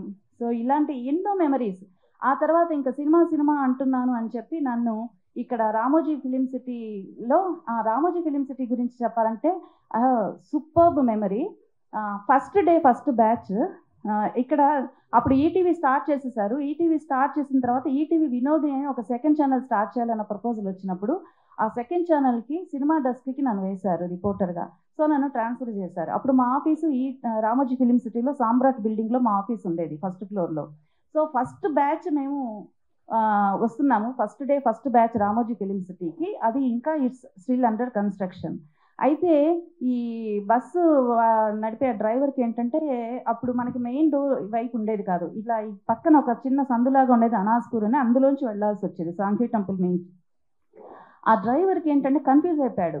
వాడు వెళ్తున్నాడు వెళ్తున్నాడు వెళ్తున్నాడు గంట అయిపోయింది రామోజీ ఫిలిం సిటీ ఎప్పటికీ రాదు. అప్పటికి మాకు ఫోన్లు మొబైల్ ఫోన్స్ కూడా ఏం లేవు. తర్వాత చూస్తే సడన్గా విజయవాడ టూ నైంటీ కిలోమీటర్స్ అనే బోర్డు కనిపించింది. అందరం ఒక్కసారి గట్టిగా అరిచాం. మనం విజయవాడ వెళ్ళిపోతున్నా అన్నా విజయవాడ వెళ్ళిపోతున్నాం అనేసరికి వాడు ఒక్కసారి ఉలికిపడి మళ్ళీ వెనక్కి వచ్చి ఈలోపు చైర్మన్ గారు ఏంటంటే ఈ ఫస్ట్ బ్యాచ్ ఇంకా రావాలి రాలేదేంటి ఆయన హెడ్ మాస్టర్లా ఉంటారు అప్పుడప్పుడు. అప్పుడప్పుడు మాకు హెడ్ మాస్టర్ లాగా ఉంటారు. వచ్చి గబగబా సామ్రాట్ బిల్డింగ్లోకి వెళ్ళబోతుంటేనే ఆయన కారులో చూస్తున్నారని అర్థమైంది. వెళ్ళిపోతున్నా ఏ పారిపోతున్నాయంటే ఇంత లేట్ అయింది ఏంటి అంటే ఇది జరిగింది అని అన్నాను అంటే ఓకే కొద్ది రోజుల తర్వాత ఇబ్బంది ఉండదు అన్నారు. తర్వాత కట్ చేస్తే ఒక పెద్ద రోడ్డు పక్కన అది అది ఇంకా ఇట్స్ రెడీ టు రోల్. ఆ road is ready to open అన్నప్పుడు ఒక్కసారి ఆయన చైర్మన్ గారి దగ్గరికి మామూలుగా వెళ్ళాను. వెళ్తే ఇంక నుంచి దో- దారి తప్పక్కర్లేదు. చూసావు కదా మన దారి. He has a very per and Eenadu ఖైరతాబాద్లో పనిచేసినప్పుడు ఆయన ఫిఫ్త్ ఫ్లోర్లో ఉండేవారు. అండ్ మాదేమో ఆఫీస్ సెకండ్ ఫ్లోరు ఎప్పుడన్నా లిఫ్ట్ దగ్గర ఒకేసారి ఎదురు పడితే మనం జనరల్గా చైర్మన్ గారు కదా బాగుండదు ఆయనే వెళ్ళని ముందు లిఫ్ట్లో అని మనం ఇలా పక్కన పెడితే రమ్మనేవారు. ఆ లిఫ్ట్లోంచి ఫిఫ్త్ ఫ్లోర్ వెళ్ళే లోపు ఏం చేసావు? ఈ వన్ వీక్లో ఏం చేస్తావు అది చేస్తావు ఇది చేస్తావు ఏదో చెప్తారు. He sets us goals and A R Rahman గారిని ఫస్ట్ ఫస్ట్ నేను ఇంటర్వ్యూ చేసినప్పుడు మెచ్చుకున్నారు. డైరెక్ట్ శంకర్ గారిని ఇంటర్వ్యూ చేసినప్పుడు మెచ్చుకున్నారు. డబ్ల్యూటీసీ ట్రవర్స్ uh, మీద అమెరికాలో అది క్రాష్ అయినప్పుడు మన పేపర్లో ఈనాడు పేపర్లో మాత్రమే ఒక న్యూస్ uh, వేశాము. అదేంటంటే జస్ట్ ఆ ఇన్సిడెంట్ జరగడానికి ఒక టూ మంత్స్ బ్యాక్ యూఎస్లో ఒక లేడీ ఫ్లైట్లో ఇలాగే కొంచెం ఏదో కొద్దిగా తేడాగా ఉంది అని చెప్పి వెళ్ళి ఆమె లోకల్ పోలీస్ స్టేషన్లో రిపో రిపోర్ట్ చేస్తే వాళ్ళు దాన్ని తేలిగ్గా తీసుకున్నారు. They are not paid very serious attention అది నేను అప్పట్లో ఇంటర్నెట్ అనేది అప్పుడప్పుడే వస్తున్న కొత్త. సో దాన్ని రీసెర్చ్ చేసి కనుక్కొని ఎఫ్బిఏ వెబ్సైట్ వెబ్సైట్లోకి వెళ్ళి కనుక్కుని ఆ న్యూస్ మనం ఈనాల్లో చేసి మాకు స్కోరింగ్స్ ఉంటాయి. మనం ఏం స్కోర్ చేసాం ఇవాళ? మనం ఏ ఏ న్యూస్ స్కోర్ చేసామో అని. ఆ న్యూస్ స్కోర్ చేసినందుకు ఎవరు కారణం అవుతారో వాళ్ళని తప్పకుండా ఆయన మెచ్చుకుంటారు. ఆ విషయంలో కూడా ఆయన నన్ను చాలా మెచ్చుకున్నారు. అండ్ ఇంకొకటి last and final which I have so many memories like that but సమయాభావం వల్ల ఇంకొకటి చెప్తాను. అదేంటంటే లగాన్ ఆస్కార్ కౌంటౌన్లో లగాన్ గురించి ఒక సిరీస్ ఆఫ్ ఆర్టికల్స్ రాశాను. రాసినప్పుడు రాసిన ఒక ఆర్టికల్లో ఆ ఆర్టికల్లో ఒక ఫోర్ లైన్స్ రాశాను. భారతీయ చలన భారతీయ కథల్ని కూడా హాలీవుడ్ సినిమా చిత్రాల్లో ఉన్నటువంటి ఆధునికతను కనుక జోడిస్తే మనకు తప్పకుండా మన మన సినిమాలకు కూడా ఆస్కార్ వస్తుంది అని చెప్పి. అది రాసినప్పుడు ఆయన ప్రత్యేకంగా నన్ను ఛాంబర్కి పిలిచి నాకు ఒక టెన్ థౌజండ్ రూపీస్ ఆయన పర్సనల్గా గిఫ్ట్ చేసి నువ్వు దర్శించావు you have the talent of visualizing thing this will happen very soon. Very soon this will happen అని అన్నారు. ఆ తర్వాత నేను రైటర్ అవ్వాలి అని చెప్పి అడిగినప్పుడు మళ్ళీ ఇంకొకసారి ఆలోచించు నీ జర్నలిజం దీంట్లో you have pioneered so many things I have achieved so many things ఇప్పుడు మళ్ళీ రైటర్ దగ్గరికి రైటింగ్ అనే దగ్గరికి వెళ్తే మళ్ళీ నువ్వు జీరో నుంచి స్టార్ట్ చేయాలి. Maybe you will find a day where you will regret for your decision అదంతా ఆలోచించు. అంటే లేదు సార్ పర్వాలేదు I'm ready to start from zero I'm ready to accept that you know to not to become anything అని కూడా అంటే అప్పుడు Priyanka serial ఇచ్చారు. అండ్ ఇప్పటికీ Eenadu is my family and ఇప్పుడు కూడా నేను ఈనాడులోకి అడుగు పెడితే it's like my family and I'm doing some work for all to them also and ఇలా ఆయన గురించి చెప్పాల్సి వస్తుంది అని నేను ఎప్పుడు అనుకోలేదు. My deepest condolences to my family thank you అందరికీ నమస్కారం. రామోజీరావు గారు నైన్టీన్ ఎయిటీ వన్లో మయూరి ఫిలిం డిస్ట్రిబ్యూటర్ దర్శనులు ఆ సమయంలో కంటిన్యూ అవుతున్న సమయంలో తొంభై ఐదు తొంభై ఆరు నుంచి మా తెలంగాణ ఏరియాలో నైజాం ఏరియాలో కొత్త కొత్త డిస్ట్రిబ్యూటర్స్ వచ్చి కొత్త కొత్త వ్యాపార విధానాలు మొదలుపెట్టినారు. మినిమం గ్యారంటీ అనే పదం వాడి ఒక సెంటర్లో అంతకుముందు సినిమా ఒక పది లక్షల షేర్ వచ్చింది అనుకోండి.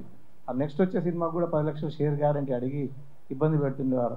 ఆ టైంలో ఈ మయూరికి సంబంధించిన డిపిస్ అని ఉంటారు డిపి అంటే డిస్టిక్ ప్రమోటర్స్ దాదాపు ఆల్ ఓవర్ ఆంధ్రప్రదేశ్లో అప్పుడు ఉన్న పాత ఇరవై మూడు జిల్లాల మనుషులు ఉండేవాళ్ళు ప్లస్ జనరల్ మేనేజర్ ఉండేవారు వారు ఆ ఈ ఎంజీలు తీసుకుంటే మనం కూడా కొద్దిగా స్టాండర్డ్ మయూరి డిస్ట్రిబ్యూషన్ నిలబడుతుంది. ఎక్కువ సినిమాలు మనకు పర్చేసింగ్ అయ్యే అవకాశం ఉంటుంది. మంచి వ్యాపారం జరుగుతుంది అని చెప్పి ఆ- ఆ జిల్లా అధికారులు జనరల్ మేనేజర్ గారు అడిగితే ఇతరుల సొమ్ము మనకు వద్దు. మినిమం గ్యారంటీ అనే పదం వద్దే వద్దు. మినిమం గ్యారంటీ పదం అంటే ఏంది? ఒక ఒక ఎగ్జాంపుల్ ఒక స్టేషన్లో ఐదు లక్షలు షేర్ గ్యారంటీ తీసుకున్నారు అనుకోండి. అక్కడ ప్రజలు ప్రేక్షకులు మూడు లక్షలు ఇస్తే మిగతా రెండు లక్షలు ఎక్కడ నుంచి మనకు అని అడిగితే అది జూదంలాగా వస్తుంది సార్ మనకు అమౌంట్ అంటే. అటువంటి వ్యాపారం వద్దే వద్దు. మనం ఇష్టపడి సినిమా తీస్తున్నాం దాని మీద ఎంత లాభం వచ్చినా మనకే రావాలి ఎంత నష్టం వచ్చినా మనకే రావాలని చెప్పి ఒక సిద్ధాంతంతో మంచి మనసుతోటి ఇతరుల వ్యాపారం దెబ్బతినొద్దనే ఆలోచనతోటి వారు చేసిన విధానం నన్ను ఇప్పటివరకు ఆకట్టుకుంది. వారు ఎప్పటికీ చిరకాలం నిలవాలని కోరుతూ శ్రద్ధాన్ని పెట్టేస్తూ థ్యాంక్ యూ పెట్టకపోతే అసలు ఎట్లా ఉండేదో మరి ఊహించుకోవటానికి కూడా చాలా కష్టంగా ఉండేది. ఎన్టీ రామారావు గారు తెలుగుదేశం పార్టీ పెట్టిన తర్వాత ఆయన చేసిన ప్రతి పని కూడా వారి పేపర్ ద్వారా పబ్లిసిటీ ఇచ్చి పే- ఈనాడు పేపర్ లేకపోతే తెలుగుదేశం పార్టీ లేదు అన్నంత లెవెల్కి వెళ్ళింది. ఇవాళ కూడా తెలుగుదేశం పార్టీకి రామ రామోజీరావు గారికి ఉన్న సంబంధం ఎటువంటి సంబంధం మీరు అందరూ చూసే ఉంటారు. ఆఖరి నిమిషం వరకు చంద్రబాబు నాయుడు గారు రామోజీరావు గారు పాడి మోస్తూ కూడా అక్కడే ఉన్నారు. ఆయన కనుక ఇంకొక నెల రోజులు కనుక ఉంటే ఈ ఐదు సంవత్సరాల్లోనే ఆయన పడిన కష్టం అంతా కూడా కళ్ళారా చూసుకుని సంతోషం వెళ్ళిపోయేవాళ్ళు. ఆయన్ని పెట్టిన ఇబ్బందులు ఆయన్ని పెట్టిన బాధలు మిగిలిన వాళ్ళందరూ కూడా ఇవాళ మార్గదర్శి మీద చాలామంది ఎన్నో రకాలుగా మాట్లాడారు. ఇవాళ మార్గదర్శి కనుక లేకపోతే ఎన్ని వందల ఫ్యామిలీస్ రిటైర్ అయిపోయిన ఎంప్లాయీస్ అందరూ కూడా అక్కడే డబ్బు దాచుకొని చాలా హ్యాపీగా ఆయన మీద నమ్మకంతో ఉన్నారు. ఇవాళ ఒక ఫిలిం సిటీలో కానివ్వండి ఒక ఈనాడులో కానివ్వండి ఒక సితారా కానివ్వండి ఒక మయూరి కానివ్వండి ఒక ఉషాకిరణ్ మూస్ కానివ్వండి ఎన్ని వేల మంది పనిచేస్తున్నారో ఎన్ని ఫ్యామిలీస్ ఆయన మీద ఆధారపడి ఉన్నాయో మీకు అందరికీ తెలుసు. ఇవాళ ఈ ఎవరో రాజకీయాలు కనుక వీళ్ళు చెప్పే మాటలు ఈ కుతంత్రాలు చూసి చీ నాకెందుకు ఈ మార్గదర్శి నాకెందుకు ఈ ఈనాడు నాకెందుకు అనుకుంటే ఎన్ని ఫ్యామిలీస్ రోడ్డు మీద పడేవి కూడా మీరు ఆలోచించండి. కాబట్టి ఆయనకి ఎంతోమంది ఎన్నో ఫ్యామిలీస్ ఆయన మీద ఆధారపడి బతుకుతున్నారు. ఆయన లేని లోటు ఎవరు తీర్చలేనిది వారి ఆత్మశాంతి కలగాలని మనస్ఫూర్తిగా కోరుకుంటూ సభ చేస్తారు రామోజీ గారు నాకు ఆయన అంటే ఆయన ఫ్యామిలీ పరంగా తెలుసు కానీ ఆయనతో నాకు మొదటి పరిచయం అనేది nineteen ninety one ninety two మధ్యలో జరిగింది. ఆయనకు వైజాగ్లో డాల్ఫిన్ హోటల్ అని ఉండేది. అట్లాగే మా ఫ్యామిలీకి అప్సరా హోటల్ అని ఉండేది. సో ఫ్యామిలీ తరఫున అప్సా హోటల్కి అప్సా హోటల్ అప్పుడున్న ఆంధ్రజ్యోతి నేను హ్యాండిల్ చేసేవాడిని అక్కడ వైజాగ్ బ్రాంచ్కి. ఆ టైంలో యూనియన్ ఇష్యూస్ వచ్చినాయి. వచ్చినప్పుడు ఆ- పర్టికులర్ విషయంలో మాట్లాడదానికి నేను డాల్ఫిన్ వెళ్ళాను వచ్చినప్పుడు ఆయన వచ్చినప్పుడు మూడు రోజులు ఉంటారు అక్కడ. ఉన్నప్పుడు కలెక్టర్ జరిగింది. అది ద ఫస్ట్ మీటింగ్ హ్యాడ్ అక్కడి నుంచి కూడా దాని తర్వాత ఆయన ఫిల్మ్ సిటీ మొదలు పెడతాం ఫిల్మ్ సిటీలో ఫస్ట్ సినిమా ఓపెన్ అయినప్పుడు అర్జున్ రాజు గారు ప్రొడ్యూసర్గా ఉన్నప్పుడు మొదలుపెట్టినప్పుడు అట్లా జర్నీ వెంట ఆన్ సరే అందరికీ ఎక్స్పీరియన్స్ ఉంది అందరూ ఐ బిన్ ట్రావెల్ ఉమర్జీ చెప్పినట్టు they have a long travel fourth estate అనేది ఆయన మెయింటైన్ చేసినట్టు ఎవడు మెయింటైన్ చేయలేదండి. Fourth estate this media so I think is is maybe is only one person at in Indian this continent yellow journalism తావు లేకుండా maintain చేశాడు ఆయన. ఎవరు ఏమనుకున్నారో నాకు తెలియదు. అనుకున్నారు చాలా మంది చాలా అనుకుంటారు. ఆయన కమ్మ అని చెప్పి కమ్మ అని చెప్పి కమ్మకి తీసిన చాలా దాఖలాలు ఉన్నాయి. ఇది టీడీపీ చూసినప్పుడు కానీ ఎన్ని but I don't think he was that personality at all ఆయన సమాజానికి ఏం కావాలి? హ్యూమానిటీకి ఏం చేయాలి? కీపింగ్ ఆల్ uh, ఏమంటారు ఈ what call that caste, caste, creed, and all this aside, he used to address that. I think he's one of the uh, supreme personalities like that. ఈ మధ్య లెజెండ్ లెజెండరీ పర్సనాలిటీ అని చాలా మందికి ఆహ్వానిస్తుంటాం it's become fashion but కానీ I think is a true legend is one of the true legends of a country and especially for the media and ఎన్నో వ్యాపారాలు ఎన్నో కుటుంబాలు. ఎవరు చెప్పారు ఇందాక? పునాన్ గారు వీళ్ళందరూ చెప్పారు. ఐ థింక్ అన్ని కుటుంబాలని స్టాండర్డ్గా fast so many years so many businesses is taking care of them their love will always be with their family and నా ప్రగాఢ సాధమూర్తి అండి వాళ్ళ ఫ్యామిలీ మెంబర్స్ అందరికీ కూడా. I pray the God to give them all the strength to to and and next generation to take over this principles thank you very much పెద్దవారందరూ మాట్లాడారు మేము మాట్లాడటానికి లేదు అంత గొప్ప వ్యక్తి గురించి. కానీ నా అదృష్టం వారితో వారి ఇంట్లో నేను ఆర్ఎఫ్సీలో భోంచేసే అవకాశం వారితో అంటే బాలు గారి దగ్గర బాలు అంకుల వల్ల మీ ఇద్దరు వెళ్ళి ఆ రోజు చాలా ఆయన సలహాలు ఇచ్చారు. This is happened after Aditya three six nine వారితో ఇంకా డైరెక్ట్ మాకు పరిచయాలు అంటే అనుభవం అంటే దగ్గరుండి చూడకపోయినా వారి ప్రతి సంస్థతోనూ అంటే మాకు అది మయూరి కానీ రామోజీ ఫిలిం సిటీ కానీ చాలా సినిమాలు తీసాం అక్కడ. అట్లాగే ETV right from the beginning to till last film like Yashoda అన్ని సినిమాలు. బాపిరెడ్డి గారు నాకు చాలా చాలా క్లోజ్ మనిషి. వీళ్ళందరితోనూ మాకు ఆ సహచర్యం అనేది ఇప్పుడు ఉంది. ఇప్పుడు లేటెస్ట్గా ఒక ఇరవై రోజులుగా మేము అక్కడే షూటింగ్ కూడా చేసాం ఇప్పుడు జరుగుతున్న సినిమా. అప్పుడు కూడా ఒక చిన్న అస్వస్థత ఉంది అని వాళ్ళు బయటికి చెప్పి చెప్పలేక ఒక రోజు రెండు మూడు రోజులు టెన్షన్ అయ్యారు. This is during fifteenth to twenty fifth of last month May అప్పుడు కూడా కూర్చున్న టెన్షన్ ఏం సార్ అంటే ఏం లేదు ఏం లేదన్నారు బట్ బయటికి మాట్లాడకూడదని ఆ మహానుభావుడు ఆయన గొప్ప వ్యక్తి. పైగా వేదాంతం ఆయన వేదాంతి. ఇక ఆయనకి అదే మీరు చూసిన ఇందాక ఆ స్మృతి పదం అనేది ఆయన చేసుకున్నారంటే ఏ దాన్ని మించినది లేదు ఆయనకి. ఈ హాజ్ రీచ్డ్ రీచ్డ్ మనస్ఫూర్తిగా మనసా వాచ కర్మణ ఆయన సంతోషంతో వెళ్ళారని మాత్రం చెప్పగలను. ఎందుకంటే ఆ మనసులో ఆ బాధతో పోకుండా ఆ మహానుభావుడు మొన్న ఆయన కళ్ళతో ఒక ఒక మనకు తెలుసు అది. అది రాజకీయాలు నాకు తెలియదు కాబట్టి అవి మాట్లాడచ్చో లేదో నాకు తెలియదు కానీ ఆయన బాధ పెట్టారు.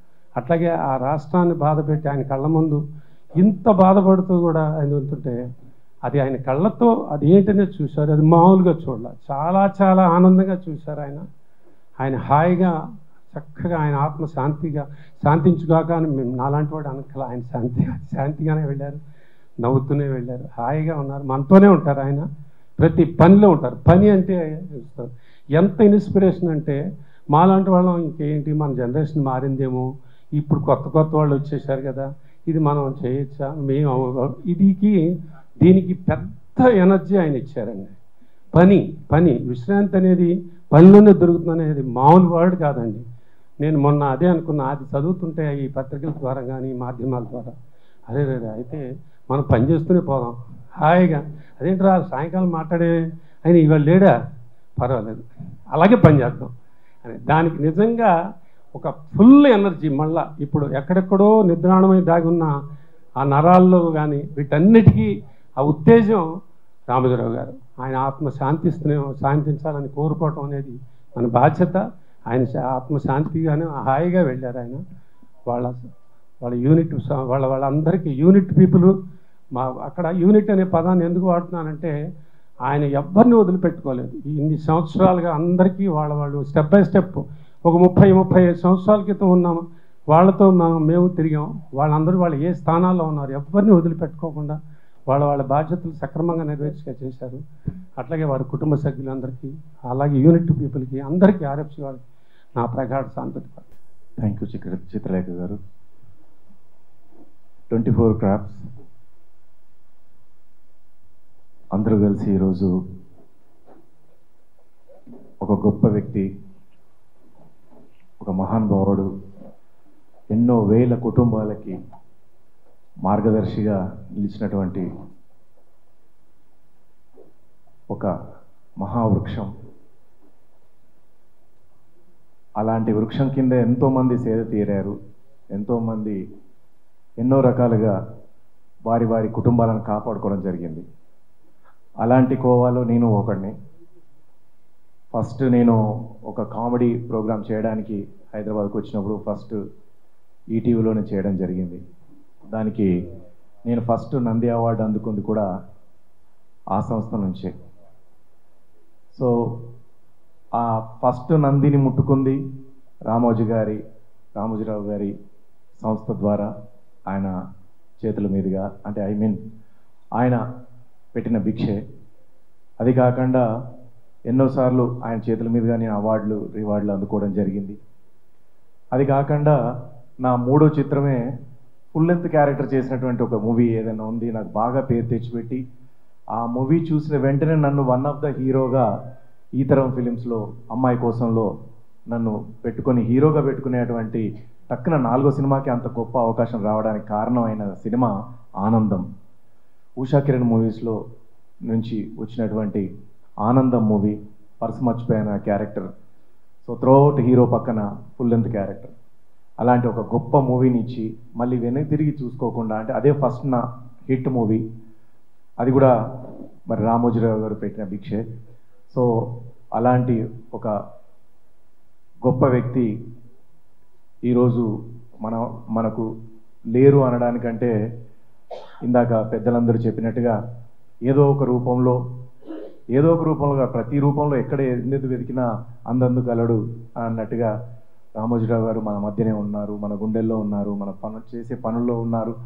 ఆయన ఏదైతే సిద్ధాంతాలతో ఉన్నారో ఏదైతే సిద్ధాంతాలు పాటించారో అదే సిద్ధాంతాలు మనం కాపాడుకుంటూ వెళ్తే చాలు అన్నంత ఆయన ఆయనకు ఆయన ఆత్మకు శాంతి చేకూరుతూ చేకూరుతుందని చెప్పేసి తెలియజేసుకుంటూ మరొక్కసారి మా ట్వంటీ ఫోర్ క్రాఫ్ట్స్ నుంచి అలాగే మా కళాకారుల తరఫున మా మిమిక్రీ కళాకారుల తరఫున అందరి తరఫున ఆయనకి పాదాభివందనాలు తెలియజేసుకుంటూ ఆయన ఆత్మ శాంతి చేకూర్చాలని మనస్ఫూర్తిగా కోరుకుంటూ సెలవు. మీ శివారెడ్డి.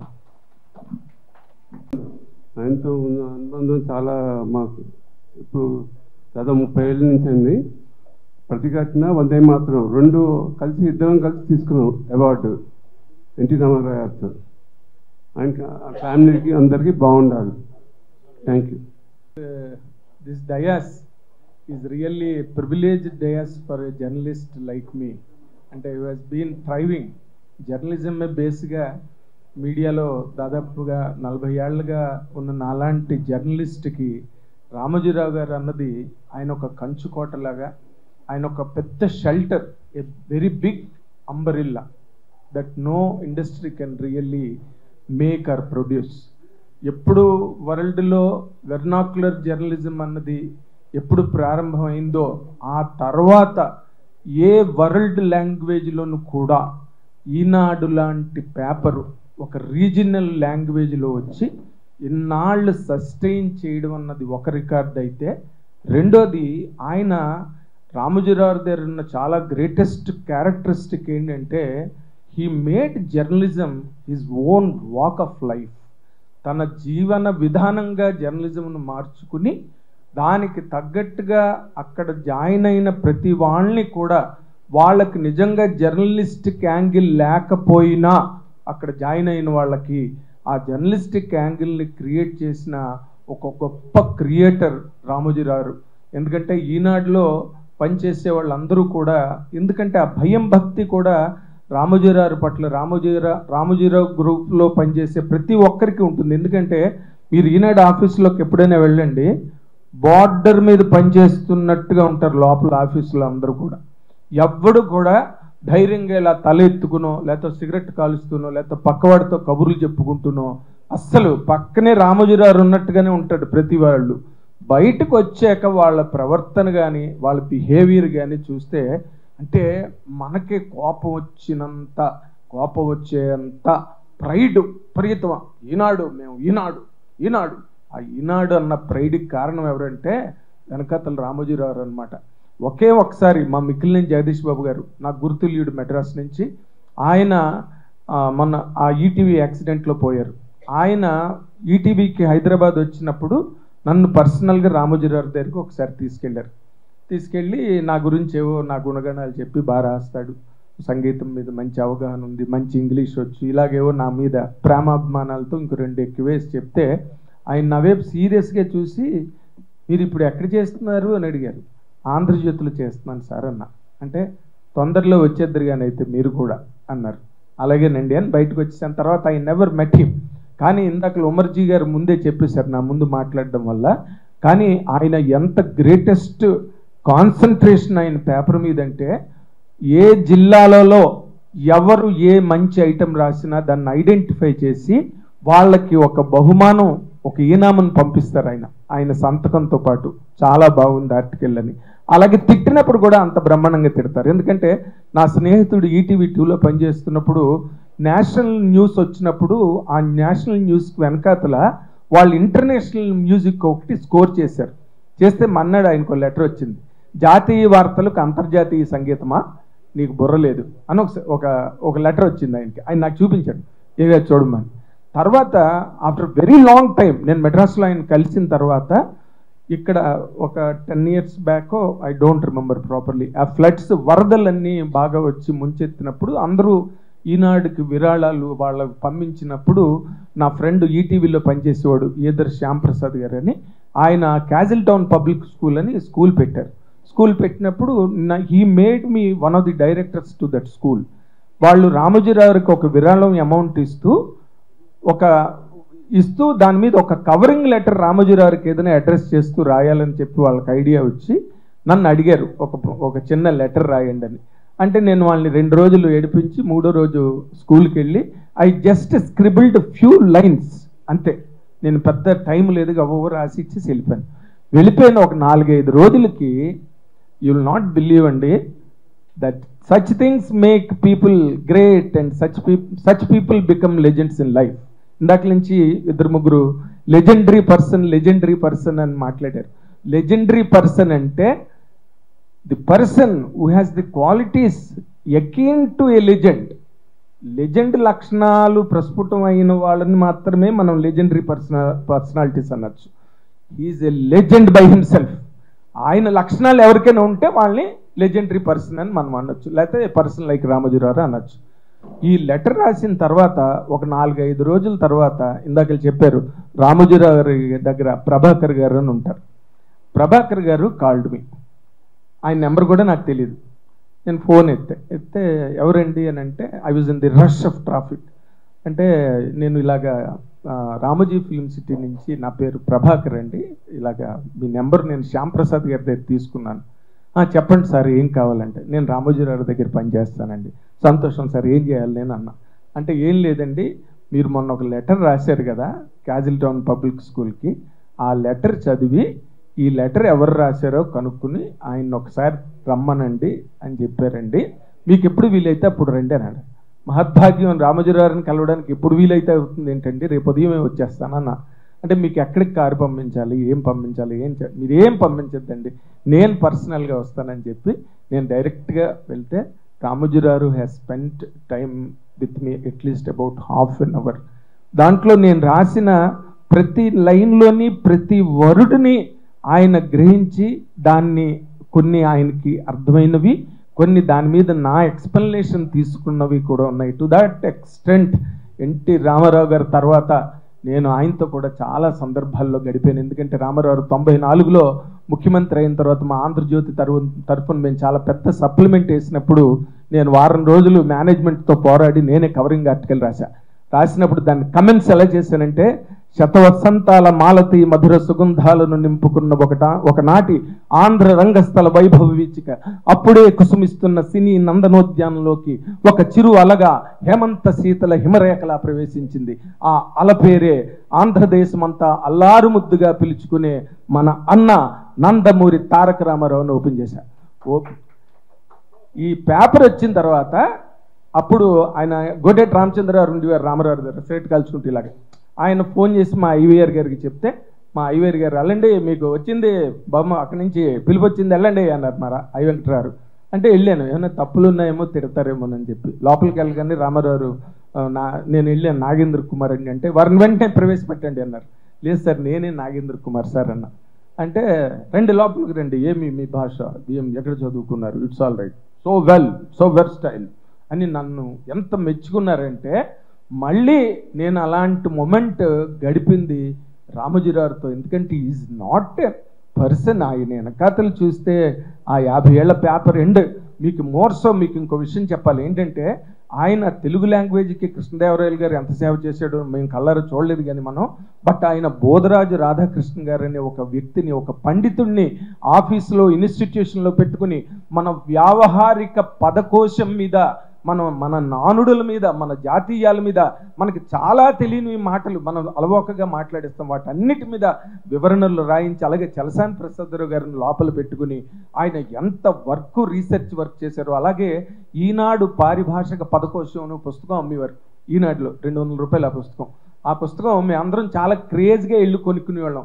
మాకు పుస్తకం కావాలి మాకు పుస్తకం కావాలని. అలాంటి ఒక గొప్ప service to the community of journalists చేసిన only one and only media baron వరల్డ్లో ఎవరైనా ఉంటే Oxford university has done a great service to the language English across the world today even today it is being carried out by Oxford university and తర్వాత తెలుగు భాషని అంత research ఓరియంటెడ్గా explain చేయడం అంత research ఓరియంటెడ్గా carry తీసి చేసి పబ్లిక్లోకి తీసుకెళ్ళడం అన్నది ఎవరైనా చేశారంటే మాత్రం కేవలం అది రామోజీరావు గారే. And this feat can not be repeated by any else on this earth as far as Telugu language is concern అదే ఆయన గ్రేట్నెస్ మరి సినిమాలు మన గొడవ మన గందరగోళాలన్నీ ఆయన మొత్తం అన్నిట్లో వరల్డ్కే ఒక సెంటర్ స్టేజ్ క్రియేట్ చేశారు cinema మేకింగ్కి so but as a journalist నేను చూసుకుంటే ఆయన pave the way the way he pave for us ఈ something immaculate and meticulous that cannot be really repeated by anybody else on this earth thank you very much for this opportunity గారు ఇప్పటి వరకు పెద్దలు చాలామంది చాలా విషయాలు అత్యద్భుతంగా చెప్పారు రామోజీరావు గారి గురించి.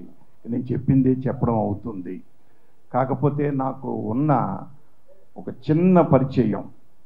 వారితో నేను చెప్తాను. నేను కొన్ని సినిమాలు చేసిన తర్వాత నైన్టీన్ ఎయిటీ టూలో అట్లూరు రామారావు గారు నాకు ఫోన్ చేశారు ఒకరోజు హైదరాబాద్ నుంచి మద్రాస్కి.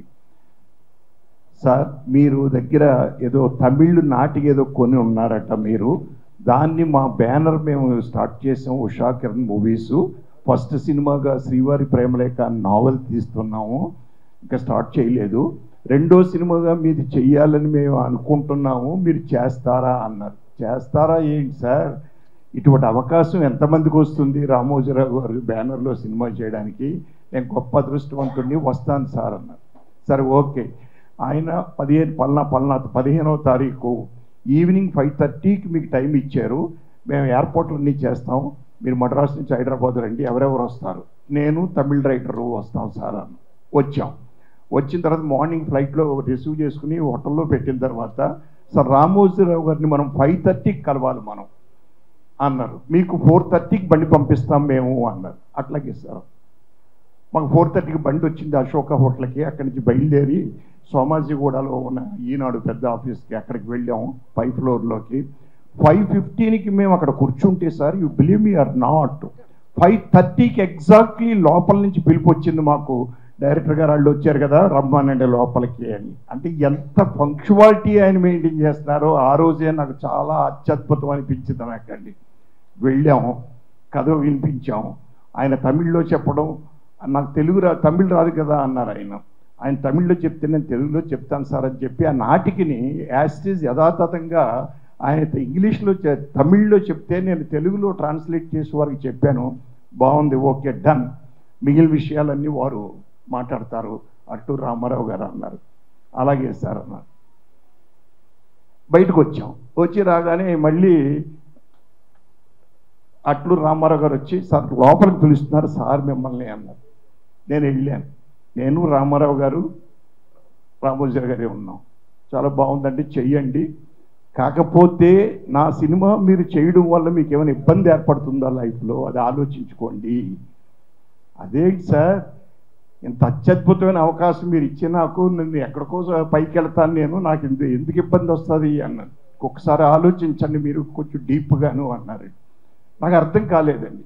అట్లు రామారావు గారు చెవిలో చెప్పారు మీ గురువు గారికి వీరికి కొన్ని మనస్పర్ధలు ఉన్నాయి కదా మరి దానివల్ల మీరు అవస్థ పడకూడదు అని ఆలోచిస్తున్నారు ఆయన? మీకు అది బ్రేక్ కాకూడదు మళ్ళీని అని. అంటే ఎంత గొప్పగా ఆయన ఆలోచించారో చూడండి సార్ రామోజీరావు గారు. నిజంగా కూడా. నాకు అటువంటి ఇబ్బంది ఏమీ లేదు సార్. రామారావు గారు చెప్పారు. నేను చేస్తున్నాను సార్. ఆయన కూడా సంతోషంగా ఒప్పుకుంటాడు మా గురువు గారు. క్వశ్చనే లేదన్నాను. అయిపోయిందండి. ఆయన పూజకు వచ్చారు కొబ్బరికాయ కొట్టారు. మళ్ళీ ఫస్ట్ కాపీ చూశారు. ఆ సినిమాతోటి నేను యావరేజ్గా ఉన్న ఒక డైరెక్టర్ని కొంచెం పైకి లేచానండి నేను. గొప్ప ముద్ర పడింది నాకండి. అటువంటి నన్ను పైకి లేపిన వ్యక్తి రామోజీరావు గారు ఈరోజు అని నిజంగా కూడా చెప్పాలి అక్కడి నుంచే నాకు హాస్య దర్శకుడు అనే ముద్ర పడిందండి. ఆ సినిమాతోటి సుందరి సుబ్బారావు అనే సినిమా తోటి పడిందండి. నాకు అసలు ఆయన రుణం నేను తీర్చుకోలేనండి. నిజంగా కూడా చెప్పాలంటే కూడానండి. అది అయిపోయిందండి. ఇంకొక ఇన్సిడెంట్ ఒకటి ఉందండి. భామా కళాపని ఒక సినిమా చేశాను. మా ఫ్రెండ్ కొత్త ప్రొడ్యూసరు ఆయన. నేనే అన్నీ నిర్వహించి ఆ సినిమా అంతా కంప్లీట్ చేసాం కానీ బిజినెస్ లేదు ఏ డిస్ట్రిబ్యూటరు రాలేదు. ఏం చెయ్యాలి ఎలాగా? అంటే బాపిరెడ్డి గారిని అడిగాను. బాపిరెడ్డి గారు ఇట్లా కొంచెం మరి సినిమా రామోజీరావు గారికి చూపిందాం అనుకుంటున్నాం ఏమంటారు అని. నేను అడిగి చెప్తాను అన్నారు. అడిగి చెప్పారు. ప్రింట్ తీసుకుని ఇక్కడికి వచ్చాం. అప్పట్లో ప్రింట్ అండి అది. ప్రింట్ తీసుకుని ఇక్కడికి వచ్చాం. రామోజీరావు గారు చూశారు సినిమా నచ్చింది నేను చేస్తాను. కానీ మాకు కండిషన్ ఉంది. కేశవరావు గారు కేశవరావు గారు అని డిస్ట్రిబ్యూటర్ అప్పట్లో ఆయన ఇన్ఛార్జిగా ఉండేవారు. కేశవరావు గారు వారికి చెప్పండి మన కండిషన్స్ ఏంటో అన్నారు. పైసా డబ్బులు మేము ఇవ్వం. సినిమా రిలీజ్ చేస్తాం. మరి మీకు కమిట్మెంట్స్ ఉన్నాయా? అని అడిగారు మా ఫ్రెండ్ని పక్కనే. ఉన్నాయి సార్ ఒక పది పదిహేను లక్షల కమిట్మెంట్ ఉందండి అన్నారు. అప్పుడు మేము డబ్బులు ఇవ్వలేం కదా మరి మీరు అది అరేంజ్ చేసుకుని చేయగలరా? అన్నారు. కష్టం అవుతుంది సార్. అయితే మా రూల్స్కి ఎగ్నెస్ట్గా మేము వెళ్ళలేము సార్ అన్నారు ఆయన. సార్ అయితే okay sir thank you very much. ఆ రోజు జాన్యువరి ఫస్ట్ ఇందాక ఎవరో చెప్పారు జాన్యువరి ఫస్ట్ వచ్చేటప్పటికి మనకు సైన్ తోటి డైరీ వస్తుంది ఇట్లా వస్తుంది శాలరీ వస్తుంది అన్నారే. జాన్యువరి ఫస్ట్ రోజు ఆయన ఎవరినైనా కలిస్తే నెగిటివ్ ఆన్సర్ చెప్పరండి ఆయన. నాకు తెలిసింది దాంతో సరే సార్ మీరు రిలీజ్ చేయొద్దు. కాకపోతే ఒక్క విషయం. దీన్ని ఎలా రిలీజ్ చేయాలో మీ అనుభవంలో నాకు కొంచెం చెప్పండి సార్ అన్నానండి ఆయన ఆలోచించి భలే లిటికేషన్ పెట్టారు నరసింహరావు గారు నాకు మీరు అది ఇది. సర్లే మీకున్న కమిట్మెంట్ సెట్ పేపర్ మీద రాసి కేశవరావు గారికి ఇవ్వండి సినిమా రిలీజ్ చేస్తామన్నారండి రిలీజ్ చేశారు ఆ కమిట్మెంట్ ఇచ్చారు సినిమాలో అవి మినాయించుకున్నారు ఓవర్ఫ్లో కూడా ఇచ్చారు. ఇది వదిలేస్తే ఇంకొక ఇన్సిడెంట్ నేను చెప్పేదండి ఇక. ఎందుకంటే కాలాతీతం అవుతుంది. కన్ఫెడరేషన్ అని ఆల్ ఇండియా కన్ఫెడరేషన్ మీటింగ్ అంటే all the federations of India meeting ఇక్కడ పెట్టాలి అనుకున్నారు ఆ రోజు. ఇక్కడ పెడుతున్నారు. అది రామోజీ ఫిల్మ్ సిటీలో పెడితేనే బాగుంటుందని అందరూ ఉద్దేశం. అన్ని ఫెడరేషన్స్ యొక్క ఉద్దేశం అండి అది. భరద్వాజ గారు అప్పుడు ప్రెసిడెంట్ దానికి మన ఫెడరేషన్కి. సరే ఎక్కడ పెట్టాలి ఎలా ఎలా చేయాలి ఎలాగా అని బాపిరెడ్డి గారి దగ్గరికి వెళ్ళాం. బాపిరెడ్డి గారిని అడిగాం. నేను ఉన్నాను ఆ రోజుండి అలాగేనండి తప్పకుండా చేయండి సార్ దానికి కావాల్సిన ఏర్పాట్లన్నీ నేను చేస్తాను. మీరు పైసా డబ్బులు పెట్టుబడి పెట్టుకోక్కర్లేదు అన్నారండి. బాపిరెడ్డి గారు. ఓకే సార్ కాకపోతే ఏంటి కాకపోతే? దాసనారాయణ గారు వస్తారు. మరి పర్వాలేదా మీకు. ఆయన అలాగ ఆగిపోయారండి బాపిరెడ్డి గారు. ఆగిపోయి నేను రామోజీరావు గారిని అడిగి ఏ విషయం చెప్తాను సార్ అన్నారు. నెక్స్ట్ డే రమ్మన్నారు. నెక్స్ట్ డే వెళ్ళాం. రామోజీ నగర్ దగ్గరికి తీసుకెళ్ళారు మమ్మల్ని. ఓకే సార్ మన వాళ్ళందరూ ఏర్పాట్లు చేస్తారు మీరేం పే చేయక్కర్లేదు. దాసనారాయణరావు గారు వచ్చిన వెంటనే రామోజీ ఫిలిమ్స్లో అడుగు పెట్టిన వెంటనే మీరు ఎవ్వరూ రిసీవ్ చేసుకోవడానికి వీల్లేదు. మా స్టాఫే రిసీవ్ చేసుకుంటారు నా దగ్గరికి తీసుకొస్తారు కాఫీ తాగుతాం మీ ఇద్దరం కలిసి కిందకి దిగుతాం. దానికి మరి గురువు గారు మీ గురువు గారు దాసర గారు భరద్వాజ గారితో చెప్పాడు ఇష్టమైతే మనకు ఓకే అన్నారు. గురుగారితో చెప్పాం సరే ఆయన ఆనందపడ్డాడు ఆయన ఆ రోజు sir you believe or not. Main gate దగ్గర నుంచి రామోజీరావు గారు ఇంటి దాకా అంటే ఇప్పుడున్నటువంటి ఇల్లు కాదు సార్ అప్పుడు. అంతకుముందు హోటల్ పైన ఇల్లు ఉండేదండి ఆయనకి. ఆ పై ఫ్లోర్లో ఎక్కడో ఉండేవారు ఆయన. దాకా రామోజీరావు గారు స్టాఫ్ని అటు ఇటు నిలబెట్టి కొంతమంది చేత లేడీ చేత పువ్వులేసి దాసనారాయణ గారు రిసీవ్ చేసుకున్నాడు. అంటే ఆయనకి కోపం కానీ ఇది కానీ ద్వేషం కానీ ఉండవు అని ప్రూవ్ అయిందంటే రామోజీరావు గారికి. అది ఈనాడు యూత్ తెలుసుకోవలసినటువంటి విషయం అదండి అది. సో ఎన్నో విషయాలు చెప్పారు అందరూ కూడాను. అలాంటి మహానుభావుడు మనకి దూరం అయిపోవడం నిజంగా కూడా దురదృష్టమైనా కూడా ఆయన జ్ఞాపకాలు ఆయన చేసిన పనులు మనం గుర్తు పెట్టుకుంటూ ఆ రూట్లో వెళ్తే చాలు ఆయన పేరు నిలబెట్టినట్టే లెక్క. థ్యాంక్ యూ వెరీ మచ్ అండి. Thank you sir twenty four crafts కార్మికుల తరఫు నుంచి మా ప్రగాఢ సంతాపం తెలియజేసుకుంటూ వారితో మాకు ఒక ఫిఫ్టీన్ ఇయర్స్ ట్వంటీ ఇయర్స్ నుంచి ఫిలిం సిటీ తోటి మాకు అనుబంధం ఉంది. ఆయనతో డైరెక్ట్గా అనుబంధం లేకపోయినా కానీ ఆయన వర్డ్స్ మా దగ్గర దాకా వచ్చాయి. ఈ వర్కర్స్కి సంబంధించిన కెమెరా డిపార్ట్మెంట్కి సంబంధించిన ఆయన ఆలోచనలన్నీ మాకు ఏదో రూపంలో మాకు మెసేజ్ పంపిస్తూ ఉండేవాళ్ళు. అదేంటంటే ఫస్ట్ కెమెరా డిపార్ట్మెంట్ స్టార్ట్ అయిన తర్వాత అప్పుడు మీడియాలో ఉండే కొంతమంది కెమెరా అసిస్టెంట్స్ని ఈ సినీ కెమెరా అసిస్టెంట్స్గా తీసుకోవాలని కొంతమందిని సెలెక్ట్ చేసి వాళ్ళందరికీ అసోసియేషన్లో మెంబర్షిప్ లేదు బట్ ఇక్కడ ఎంప్లాయ్మెంట్ మాత్రం ఖచ్చితంగా ఖచ్చితంగా సినిమాలు చేస్తారు కంటిన్యూగా అని ఒక ఉద్దేశం పెట్టుకుని మమ్మల్ని పిలిచి మాట్లాడడం జరిగింది. అప్పుడు ఆయన ఒకటే చెప్పారు ఇక్కడ ఉండే ఎంప్లాయ్మెంట్ ఎంతమంది అయితే తీసుకుంటున్నామో వాళ్ళందరికీ అసోసియేషన్కి వాళ్ళ రూల్స్ ప్రకారం మేము కార్డ్స్ తీసుకుంటాం. తీసుకుని వాళ్ళని యాజ్ డేజ్గా మా ఎంప్లాయ్మెంట్ మా ఎంప్లాయ్మెంట్ కిందే చూసుకుంటాం అని చెప్పి చెప్పడం. దాని తర్వాత ఎన్నో సంవత్సరాలు ఆ చిన్న డిపార్ట్మెంట్లో వీడియో కెమెరాలు ఉండే కెమెరా షింట్లు అందరూ కెమెరా షింట్లు అయ్యి వాళ్ళకు ఒక జీతాల కింద తీసుకునే టైంలో అంటే బయట మాకు యాక్చువల్గా బ్యాటర్స్ అని ఈ టైప్లో జర్నీ ఉండేది. ఆ టైంలో వాళ్ళకి జీతాలని ప్రొవైడ్ చేసి జీతాలు అలవాటు చేసి అలవాటు చేసిన బయట ఒక ముప్పై వేలు సంపాదించిన వాళ్ళు ఒక పది పదిహేను వేలు సంపాదించిన వాళ్ళకంటూ ఒక ఒక నీట్గా ఒక సిస్టమ్ ప్రకారం ఎట్లా జీవనం సాగించాలనే విధానం నేర్పించి ప్లస్ వాళ్ళు ఆ డిపార్ట్మెంట్ని క్లోజ్ చేసేటప్పుడు మళ్ళా మమ్మల్ని పిలిచి వీళ్ళందరినీ డిపార్ట్మెంట్ క్లోజ్ చేస్తున్నాం. సో ఇప్పుడు అసోసియేషన్లో కార్డులు తీసుకున్న మెంబర్లు అందరూ బయటికి వస్తారు. వీళ్ళందరికీ మీ ఫెడరేషన్ తరఫు నుంచి ఒక డిసిషన్ తీసుకుని వీళ్ళందరికీ న్యాయం చేసే విధంగా మీరు చేయండి అని చెప్పేసి ఆయన ద్వారాగా ఒక మెసేజ్ పంపించి వెంటనే మేమందరం అప్పుడు మంచిగా ఒక ఆలోచన చేసి ఇంత పెద్ద ఆయన మనకు ఒక మెసేజ్ పంపించారు వాళ్ళందరి గురించి ఆలోచిస్తున్నారని చెప్పేసి ఒక ఆలోచనతోటి మేము కూడా ఒక ఒక మీటింగ్ పెట్టుకుని వారందరూ బయట ఆ కెమెరా డిపార్ట్మెంట్ ఏదైతే సెటిల్ అయ్యేదాకా బయట ఎక్కడ అసోసియేషన్లో కార్డులు ప్రొవైడ్ చేయకూడదని చెప్పేసి ఒక ఆలోచన చేసి ఒక one one and half year కార్డ్స్ని stop చేసి వాళ్ళందరూ బయట సెటిల్ సెటిల్ అవ్వడానికి కారణమైన మా రామోజీరావు గారు ఎప్పటికీ ఆ వర్డ్స్ని మేము ఎప్పుడు ఒక ఇన్స్పిరేషన్గా తీసుకుంటాం. ఎందుకంటే ఆయన ఒక ఒక ఆయన ఒక శిఖరం. ఎక్కడో చిన్న చిన్న రాళ్ళలాగా ఉండే మనం ఎంప్లాయ్మెంట్ చిన్న చిన్న రాళ్ళలాగా ఉండే వాళ్ళని గురించి ఆయన అంత ఆలోచన చేశారంటే ఆ రోజు ఈరోజు ఆ- ఆ వర్డ్స్ కానీ ఆ మెసేజ్లు కానీ మేము ఎప్పటికీ మర్చిపోలేము. ఎనివే మన మధ్య లేకపోయినా కానీ ఆయనకి డీప్ కండోలెన్స్ ప్రకటిస్తూ థ్యాంక్ యూ అండి. Thank you very much thank you very much అండి. నాయుడు కాదు అయితే మాకు రామోజీరావు గారితో ఉన్న అనుబంధం ఏంటంటే ఊళ్ళల్లో అంటూ ఉంటారు పక్క పక్క పొలాలలో అని. మేము యాక్చువల్గా ఈ రంగంలోకి ఒక ఐదారు ఏళ్ళ నుంచి వచ్చాం ఒక ఐదారు సినిమాలు తీసాం. కానీ అంతకుముందు ముప్పై సంవత్సరాల నుంచి ఆయన పక్క పొలం ఆయన వెనక పొలం ఆయన ముందు పొలం ఇలా వెంచర్లు చేసి నేను మా వెంకటేశ్వర గారు రియల్ ఎస్టేట్ నుంచి ఇక్కడికి వచ్చాం. మ్యారేడ్కి కూడా నేను ఒక ఐదు సంవత్సరాలు సెక్రటరీ చేశాను. మా వెంకటేశ్వర ఇప్పుడు ట్రెజరర్గా ఉన్నారు. సో ఈ సంస్థ ద్వారా కూడా మేము ఆయనకి నివాళులు అర్పిస్తున్నాం. Is a creator and is an executor and is an achiever అది మూడు ఒక సెంటెన్స్లో చెప్పాలంటే ఆయన ఏదైతే కళలు కన్నాడో ఆ కళల్ని అచీవ్ చేసేవాడు. So is inspiration to all generations అండి. Thank you thank you very much పెద్దలందరికీ నమస్కారం అండి. రామోజీరావు గారి గురించి మొత్తం మన పెద్దలు అద్భుతమైన విషయాలు చెప్పారు. ఇక నా నా వరకు ఏంటంటే ఒక సినిమాల్లో ఇబ్బంది పడుతున్న రోజుల్లో ఈటీవీ అన్నది వచ్చి ఎంతోమంది కళాకారులకు చక్కటి అవకాశాలు ఇవ్వడమే కాకుండా వారికి భుక్తికి మంచి మార్గం సుమార్గంగా ఆ కళాకారులందరికీ ఒక వరంగా వచ్చింది మన ఈటీవీ.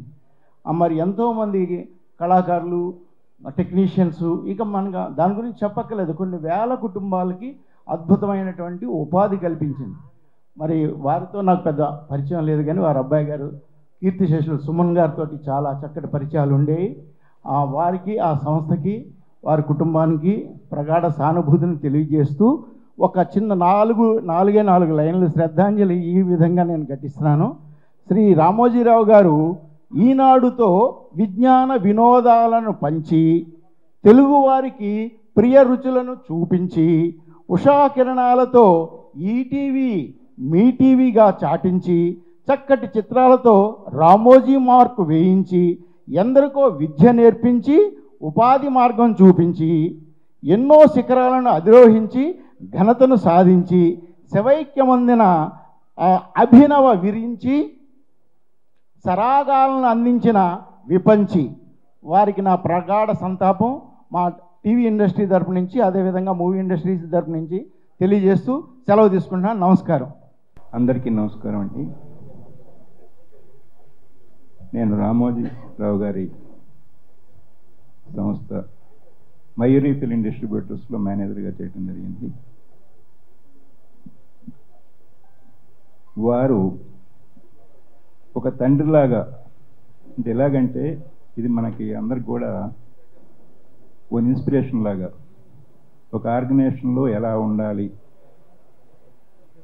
ఉద్యోగులకి యాజమాన్యానికి అనేదానికి ఏదైనా తప్పు చేసినప్పుడు మిమ్మల్ని నేను సరిగ్గా ట్రైన్ చేయలేకపోయాను అన్న భావాన్ని వ్యక్తపరిచేవారండి. అంటే మిమ్మల్ని మేము సరిగ్గా ట్రైన్ చేసుకుంటే మీకు ఆ తప్పు దొరలేదు కాదు అనేది. ఒక్కొక్కసారి వ్యాపారం నష్టం వచ్చినప్పుడు మేము బాధపడుతూ ఉన్నప్పుడు బాధపడద్దు తప్పు మీది కాదు దానికి అంగీకరించింది నేను. కాబట్టి మీరు ఉత్సాహంతో ఇంతకుముందున్న ఉద్వేగంతో ఉల్లాసంతో చేయండి. పోయింది వ్యాపారం తర్వాత లాభాలు నష్టాలన్నీ కూడా సంభవిస్తూ ఉంటాయి. వాటి గురించి పట్టించుకోవద్దు. అని ఇవాళ ఉన్న యాజమాన్యాల్లో ఎంతమంది ఆ మాట చెప్పగలరు? ఎందుకంటే ఒక పది రూపాయలు పోయిందంటే నీ వల్లే పోయింది నీ వల్లే పోయింది అనేది క్రింద ఉద్యోగుల మీద ఆ ప్రెజర్ అనేది ఉంటుంది. ఇక్కడ అలాంటిది ఏమీ లేకుండా అలా ఎప్పుడైతే చెప్తారో స్టాఫ్ కూడా ఈ పని నాది నా సొంతం. ఒక పైసా పోవటానికి వీలు లేదన్నట్లుగానే వారు ఆ భావంతో చేయటం జరుగుతూ ఉంటుంది. తర్వాత ఇక్కడ వారి నుంచి నేర్చుకోవాల్సిన అనేకం అందరూ చెప్పుకోవటం జరిగింది. రామోజీరావు గారు అనేది సంస్థ కాదు వ్యవస్థ అనేది. అది ముమ్మాటికి నిజమైనా కానీ రామోజీరావు గారు వటవృక్షం లాంటి వారు. అంటే విశ్వం అంతా కూడా వ్యాపించున్నారు. ఒక మన సంస్థ అంటే కొన్ని ప్రాంతాలను ఉంటుంది. కానీ వటవృక్షం అనేది ప్రపంచం అంతా వ్యాపించింది. ఇప్పుడు రామోజీరావు గారు చనిపోయారంటే ఆ కుటుంబానికి ఒక్కళ్ళే బాధపడలేదు. ప్రతి వారు మా ఇంట్లో ఒక మనిషిని కోల్పోయాము అన్న భావం అందరిలో ఉందండి. సో ఈ సానుభూతి కూడా ఆ వాళ్ళకు కూడా తెలియజేయాల్సిన అవసరం కూడా ఉంటుంది. అంతగా ఓన్ చేసుకున్నారు. మా మనిషి మా సొంత మనిషి మా తండ్రి లాంటి వాళ్ళు లేకపోతే మా అన్న లాంటి వాళ్ళు. ఇలా ఈ భావాలతో తాత లాంటి వారు అనేది వారిలో అందరం తీసుకోవాల్సింది ఏంటంటే ఒకసారి చూడండి. ఆ బొమ్మ వారి యొక్క చిత్రపటం లేదా మనిషిని మనం గుర్తించుకుంటే తెల్లటి బూట్లతోటి తెల్లటి డ్రెస్ తోటి ఎంత ప్రకాశవంతంగా వెలిగిపోతూ ఉంటారు మనిషి ఎప్పుడు కూడా ఒకసారి కళ్ళు మూసి అలా తెచ్చుకుంటే మొత్తం ఆ విగ్రహం అంతా కూడా అలా ప్రత్యక్షం అవుతూ ఉంటుంది. ఒక మనిషి విజయం సాధించడానికి శ్రమ శ్రమ అంటే కష్టపడే తత్వం. ప్రతి నిమిషం ఒక పని చేస్తున్నప్పుడు ఆ పని మీదే కష్టపడటం. శ్రద్ధ చేస్తున్న పని మీదే ఏకాగ్రత పెట్టడం. మిగతా విషయాల మీద దేనికి మళ్ళించకుండా పూర్తిగా దాని మీదే మనం ఏకాగ్రత నిలపటం. ఆత్మవిశ్వాసం ఏ పని చేస్తూ ఉన్నా అదే పని మీద అదే పనిని మనం జయించగలము మనం సాధించగలము ఎన్ని అడ్డంకులు వచ్చినా ఎదుర్కొందాము అనే ఆత్మవిశ్వాసం పరిపూర్ణంగా హండ్రెడ్ పర్సెంట్ నిండుగా ఉన్నప్పుడే తర్వాత క్రమశిక్షణ సమయపాలన చిరునవ్వు సృజనాత్మకత. ఇవి అన్నీ ఉన్న వాళ్ళకి విజయం అనేది తథ్యం.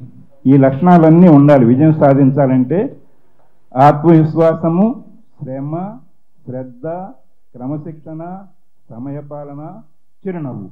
ఇవన్నీ ఉన్నప్పుడు ఆ మనిషికి ఆ విజయం అనేది సొంతం అవుతుంది వీటన్నిటికీ ప్రతిరూపమే రామోజీరావు గారు. అందుకే ఆ విజయాలు అనేది సిద్ధిస్తూ ఉంటాయి.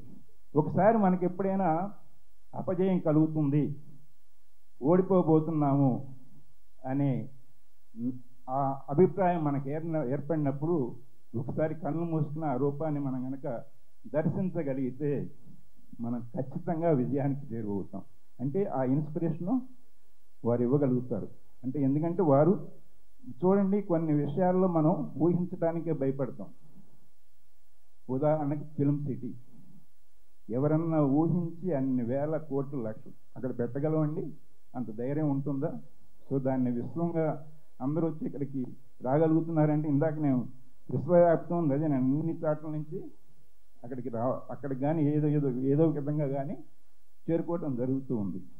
సో వారి నుంచి అన్నీ కూడా తీసుకుంటూ వారి లక్షణాలను మనం సంస్థలో పనిచేస్తున్నప్పుడు మీకు ఒక విషయం చెప్పాలండి.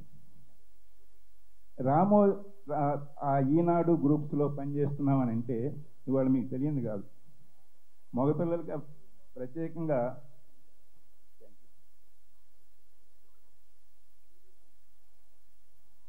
మగపిల్లలకి పెళ్ళిళ్ళు కావట్లా ఇబ్బందిగా ఉంటాం. ఇప్పుడు ఈనాడు గ్రూప్లో చేస్తున్నారని అంటే పిల్లనివ్వటానికి ధైర్యంగా ముందుకు వస్తారు ఎందుకంటే క్రమశిక్షణ ఉంటుంది వాళ్ళ దగ్గర చక్కటి తెలివితేటలు ఉంటాయి. వాడు ఒక జీవన విధానానికి అలవాటు పడి ఉంటారనేది. అలాగే ఆడపిల్లలు కూడా సంస్థలో పనిచేయటానికి పుట్టింటికి వచ్చినట్లుగా వచ్చి చేస్తూ వెళుతూ ఉంటారు. అంటే అంత నమ్మకం అంత క్రమశిక్షణ అక్కడ ఉంటుంది.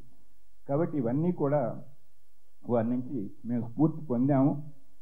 ఇవి ఇవాళ ఈ యొక్క బాధ అనేది అందరికీ ఉంది. మాకు ఉంది మీకు ఉంది కుటుంబానికి ఉంది. అందరం కూడా మనశ్శాంతి కలగాలని వారి యొక్క ఆత్మవిశ్వాసాన్ని ఒకసారి రూపాన్ని గుర్తెచ్చుకుని మన విజయాలు సాధించాలని కోరుకుంటూ సెలవు పాత్రికేయ మిత్రులకు అందరికీ వందనాలండి. క్షమించాలి నేను సభా వేదిక మీదకి ఎక్కలేక నాకు లెగ్ ఫ్రాక్చర్ అయింది. ప్రాబ్లంలో ఉండి పైకి ఎక్కలేక కింద నుంచే మాట్లాడుతున్నాను. రామోజీరావు గారు అనే వ్యక్తి అనే ఒక మహోన్నత వ్యక్తితో పరిచయం. కొన్ని క్షణాలు ఆయనతో గడప గడిపే అవకాశం దొరకడం అనేది చాలా గొప్పగా ఫీల్ అయ్యే రోజుల్లో. నైన్టీన్ ఎయిటీ సెవెన్లో నేను అప్పటికే ఒక ఇరవై సినిమాలు డైరెక్టర్గా అయిపోయినాయి. ఓన్ ప్రొడక్షన్ స్టార్ట్ చేసి ఎయిటీ సెవెన్లో గాంధీనగర్ రెండో విధి అని రాజేంద్ర ప్రసాద్ గారు హీరో. గౌతమి గారిని పరిచయం చేస్తూ సినిమా తీసే ముందుకు అన్నీ నావి యాక్షన్ సినిమాలండి. నేను చాలా డిఫరెంట్ సబ్జెక్ట్స్ చెప్తానని ఏ ప్రొడ్యూసర్ దగ్గరికి వెళ్తున్నా ఆ యాక్షన్లో ఆల్ టైమ్ రికార్డ్స్ పెద్ద పెద్ద హిట్స్ ఉన్నాయి మెరుపుదాడి ఇవన్నీ కూడా. నువ్వు కామెడీ అందిస్తావయ్యా అని చెప్పని చాలా డిస్కరేజింగ్గా మాట్లాడేవాడు. ఆ సమయంలో నేను రామోజీరావు గారిని అప్రోచ్ అయ్యి సార్ నేను మంచి కామెడీ కథ చెప్తాను. నేను కామెడీ సినిమా చేయాలనుందంటే ఫస్ట్ పర్సన్ లైఫ్లో అంటే నీకు బ్రాండ్ ఉంది ఇలాంటి సినిమాలు తీసావు నువ్వు కామెడీ తీయగలవా? అనేటువంటి ప్రశ్న వేయకుండా కథ చెప్పమని చెప్పి అడిగి సబ్జెక్ట్ చెప్పాక అప్పటికి నేను ఉషా కిరణ్లో ప్రొడక్షను సినిమాలు అనేది అంత ఉధృతం స్టార్ట్ అవ్వలేదండి. నేనే ఓన్ ప్రొడక్షన్ చేస్తానని చెబితే నా భుజం సరిచి వెనక ఉండి నన్ను అన్ని విధాలా సపోర్ట్ చేసి నిలబెట్టిన వ్యక్తి రామోజీరావు గారు. నా own production first film Gandhinagar second street hundred days film super hit film అండి. అక్కడి నుంచి నేను ఇప్పటిదాకా పదహారు ఓన్ ప్రొడక్షన్స్ చేశాను. పదహారు పిక్చర్స్లో ఏ ఒక్క పిక్చరు మయూరిలోంచి రిలీజ్ కాకుండా లేదు. అన్ని సినిమాలు మయూరిలో దాదాపు పదహారు సినిమాల ఓన్ ప్రొడక్షన్ సినిమాలు అన్నీ కూడా మయూరి ద్వారా ఏదో ఒక ఏరియా ఎంటైర్ ఆంధ్రప్రదేశ్ అలా చేస్తూ అన్ని సంవత్సరాలు నేను ఆ మహోన్నతమైన వ్యక్తితో వీలైనన్ని సార్లు చాలా దగ్గరగా గడిపే అదృష్టం నాకు దక్కింది. అటువంటి మహామనిషి నాకు చాలా సంతోషమైన విషయాలు ఏమిటంటే ఫస్ట్ ప్రొడక్షన్ స్టార్ట్ చేయడానికి వెనక నన్ను భుజం తట్టి ముందుకు నడిపించిన వ్యక్తిగా కాకుండా ఫస్ట్ నా నెక్స్ట్ ఫిల్మ్ అండి ఆగస్ట్ పదిహేను రాత్రి నేను సినిమా నేను తీస్తే first time I think Sambasiva Rao ఇక్కడే ఉన్నారు. మయూరిలో అవుట్ రైడ్ కొన్న మొదటి సినిమా అని నాకు అప్పటికి రామారావు గారు వాళ్ళు చెప్పింది. అంత ఎగ్జైట్ అయ్యారు ఆ సినిమా చూసి. అంతకు ముంచే పరిచయం అని అమల గారిని ఇంట్రడ్యూస్ చేస్తూ తీసిన సినిమా అది చూశారు. ఆకలి నీకు దోహాలని ఒక రెవల్యూషనరీ సినిమా అది చూశారు. తర్వాత కామెడీ గాంధీనగర్ చూశారు యాక్షన్ ఓరియంటెడ్ ఆగస్ట్ పదిహేను రాత్రి చూశారు. ఈ నాలుగు చూశాక ఒక రోజు నన్ను పిలిచి చెప్పారు నువ్వు ప్రొడక్షన్ మానేవయ్యా? నీలో మంచి డైరెక్టర్ ఉన్నాడు మంచి కథకుడు ఉన్నాడు ఇన్ని ఉండి నువ్వు ఎందుకు ఆ ప్రొడక్షన్ చేస్తావు? ప్రొడక్షన్ మానేస్తే ఎందుకైనా గొప్ప సినిమాలు తీస్తావు అని చెప్పి మయూరిలో నాకు కంటిన్యూస్గా రెండు సినిమాలు నువ్వు చేద్దున్నా సంవత్సరానికి. నువ్వు ప్రొడక్షన్ మొత్తం మాని కాన్సన్ట్రేట్ చేయమని చెప్పారు. తర్వాత అఫ్కోర్స్ అంత చనువు ఉండి అంత దగ్గరగా ఉండి కూడా దురదృష్టం సో మెనీ రీజన్స్ నేను ఉషాకిరణలో సినిమా డైరెక్ట్ చేయలేకపోయాను. కానీ అటువంటి ఒక మహా వ్యక్తితో చాలా దగ్గరగా గడిపి ఆయన మాట్లాడుతుంటే స్పెల్ బౌండ్ అంటే మనం చెవులు రిక్కించి వినాలి. అదొక విశ్వవిద్యాలయం. Every word every word is a ఒక ఒక వేదనలాగా అంత అన్- అటువంటి అనుభవశాలి సకలకళా కోవిదుడు మహోన్నతమైన వ్యక్తి ఆయన దగ్గర నుంచి మా డైరెక్ట్ మేము మేమే కాదు ఎవరం ప్రతి ఒక్కళ్ళు ఎవరైనా సరే ఒక పారిశ్రామికవేత్త అవచ్చు మన వినోద రంగంలో కావచ్చు అన్ని రకాల కూడా అన్ని చోట్ల ఎక్కడ ఎక్కడ అడుగు పెడితే ఎక్కడ ఆయన అఖండ విజయాలు చరిత్రలు సృష్టించినటువంటి ఒక very rare very one in million one in million very rare personality వారి మరణానికి చాలా వారు చెప్పినట్టు సాంసరావు వారు చెప్పినట్టు మన సినిమా వాళ్ళు కాదు ప్రపంచంలో తెలుగు వాళ్ళు ఎక్కడ ఉంటే వాళ్ళందరూ వాళ్ళ ఇంట్లో ఒక మహోన్నత వ్యక్తిని పోగొట్టుకున్న భావంలో ఉన్నారు ఇవాళ. సో ఎన్నో రాబోయే ఎన్నో జనరేషన్స్కి చాలా ఆదర్శమూర్తిగా ఇన్స్పైరర్గా మిగిలిపోయిన ఆ మహానుభావుడికి శ్రద్ధాంజలి ఘటిస్తూ ఆయన ఆత్మకు శాంతికి చేకూరాలని కోరుకుంటూ ఆ కుటుంబానికి నా ప్రకార సానుభూతి తెలుపుకుంటున్నాను మా యూనియన్ తరపు నుంచి సంతాపం సార్. నిన్న చూస్తుంటే అంటే మా యూనియన్ తరపు నుంచి నేను కురవని చెప్పేంత అర్హత నాకు లేదు సార్.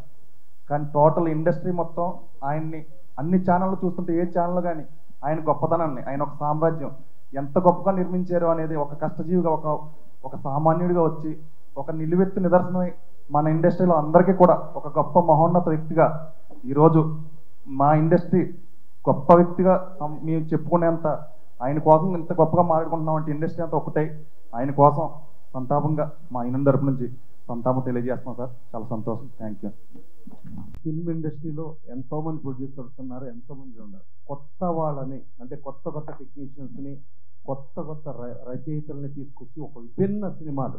ఒక సినిమాకి ఒక సినిమాకి తేడా లేకుండా ప్రతిఘటన ఒక స్టైల్ అయితే మౌన పోరాటం ఒక స్టైల్ అయితే మయూరి ఒక స్టైల్ అయితే అశ్విని ఒక స్టైల్ అయితే పూజకు పనికిరాని పువ్వు. అలా రకరకాల స్టైల్స్. అంటే ఉషాకిరణ్ మూవీస్ ఆ సముద్రం నుంచి అలా ఉషాకిరణాలు వస్తూ ఉంటే ప్రేక్షకులు కార్లు మాకు ఓడియన్ థియేటర్లో లెక్క చూసుకుంటే మా నూట ఇరవై కార్లు ఉన్నాయంటే ఓహో మయూరి సినిమా రిలీజ్ అయిందంట అని అనుకునే స్థాయిలో ప్లస్ ప్రొడ్యూసర్స్కి ఇబ్బంది అని మొత్తం ఆంధ్రప్రదేశ్ తెలంగాణ రెండు రాష్ట్రాలు కర్ణాటక తమిళనాడు అన్ని చోట్ల మయూరి సంస్థను స్థాపించి సింగిల్ విండోలో ప్రొడ్యూసర్స్ రిలీజ్ చేసుకునే అవకాశం కల్పిస్తూ అలాగే థియేటర్స్ కొంచెం బాగా పాడైపోతే ఆ పాడైపోయిన థియేటర్స్ని రెనోవేట్ చేసి బ్రహ్మాండంగా థియేటర్స్కి చూపించే అవకాశం. అంటే ఇవాళ ఒక్కొక్కళ్ళు లక్షల లక్షల మార్జిన్ లాగా కాకుండా చాలా మినిమం వెయ్యి రెండు వేలు మార్జిన్ లాగా పెట్టుకుని అలా నడుపుతూ ఇండస్ట్రీకి ఏమైనా సేవ చేసిన ఎవరన్నా వ్యక్తి ఉన్నారంటే that is one and only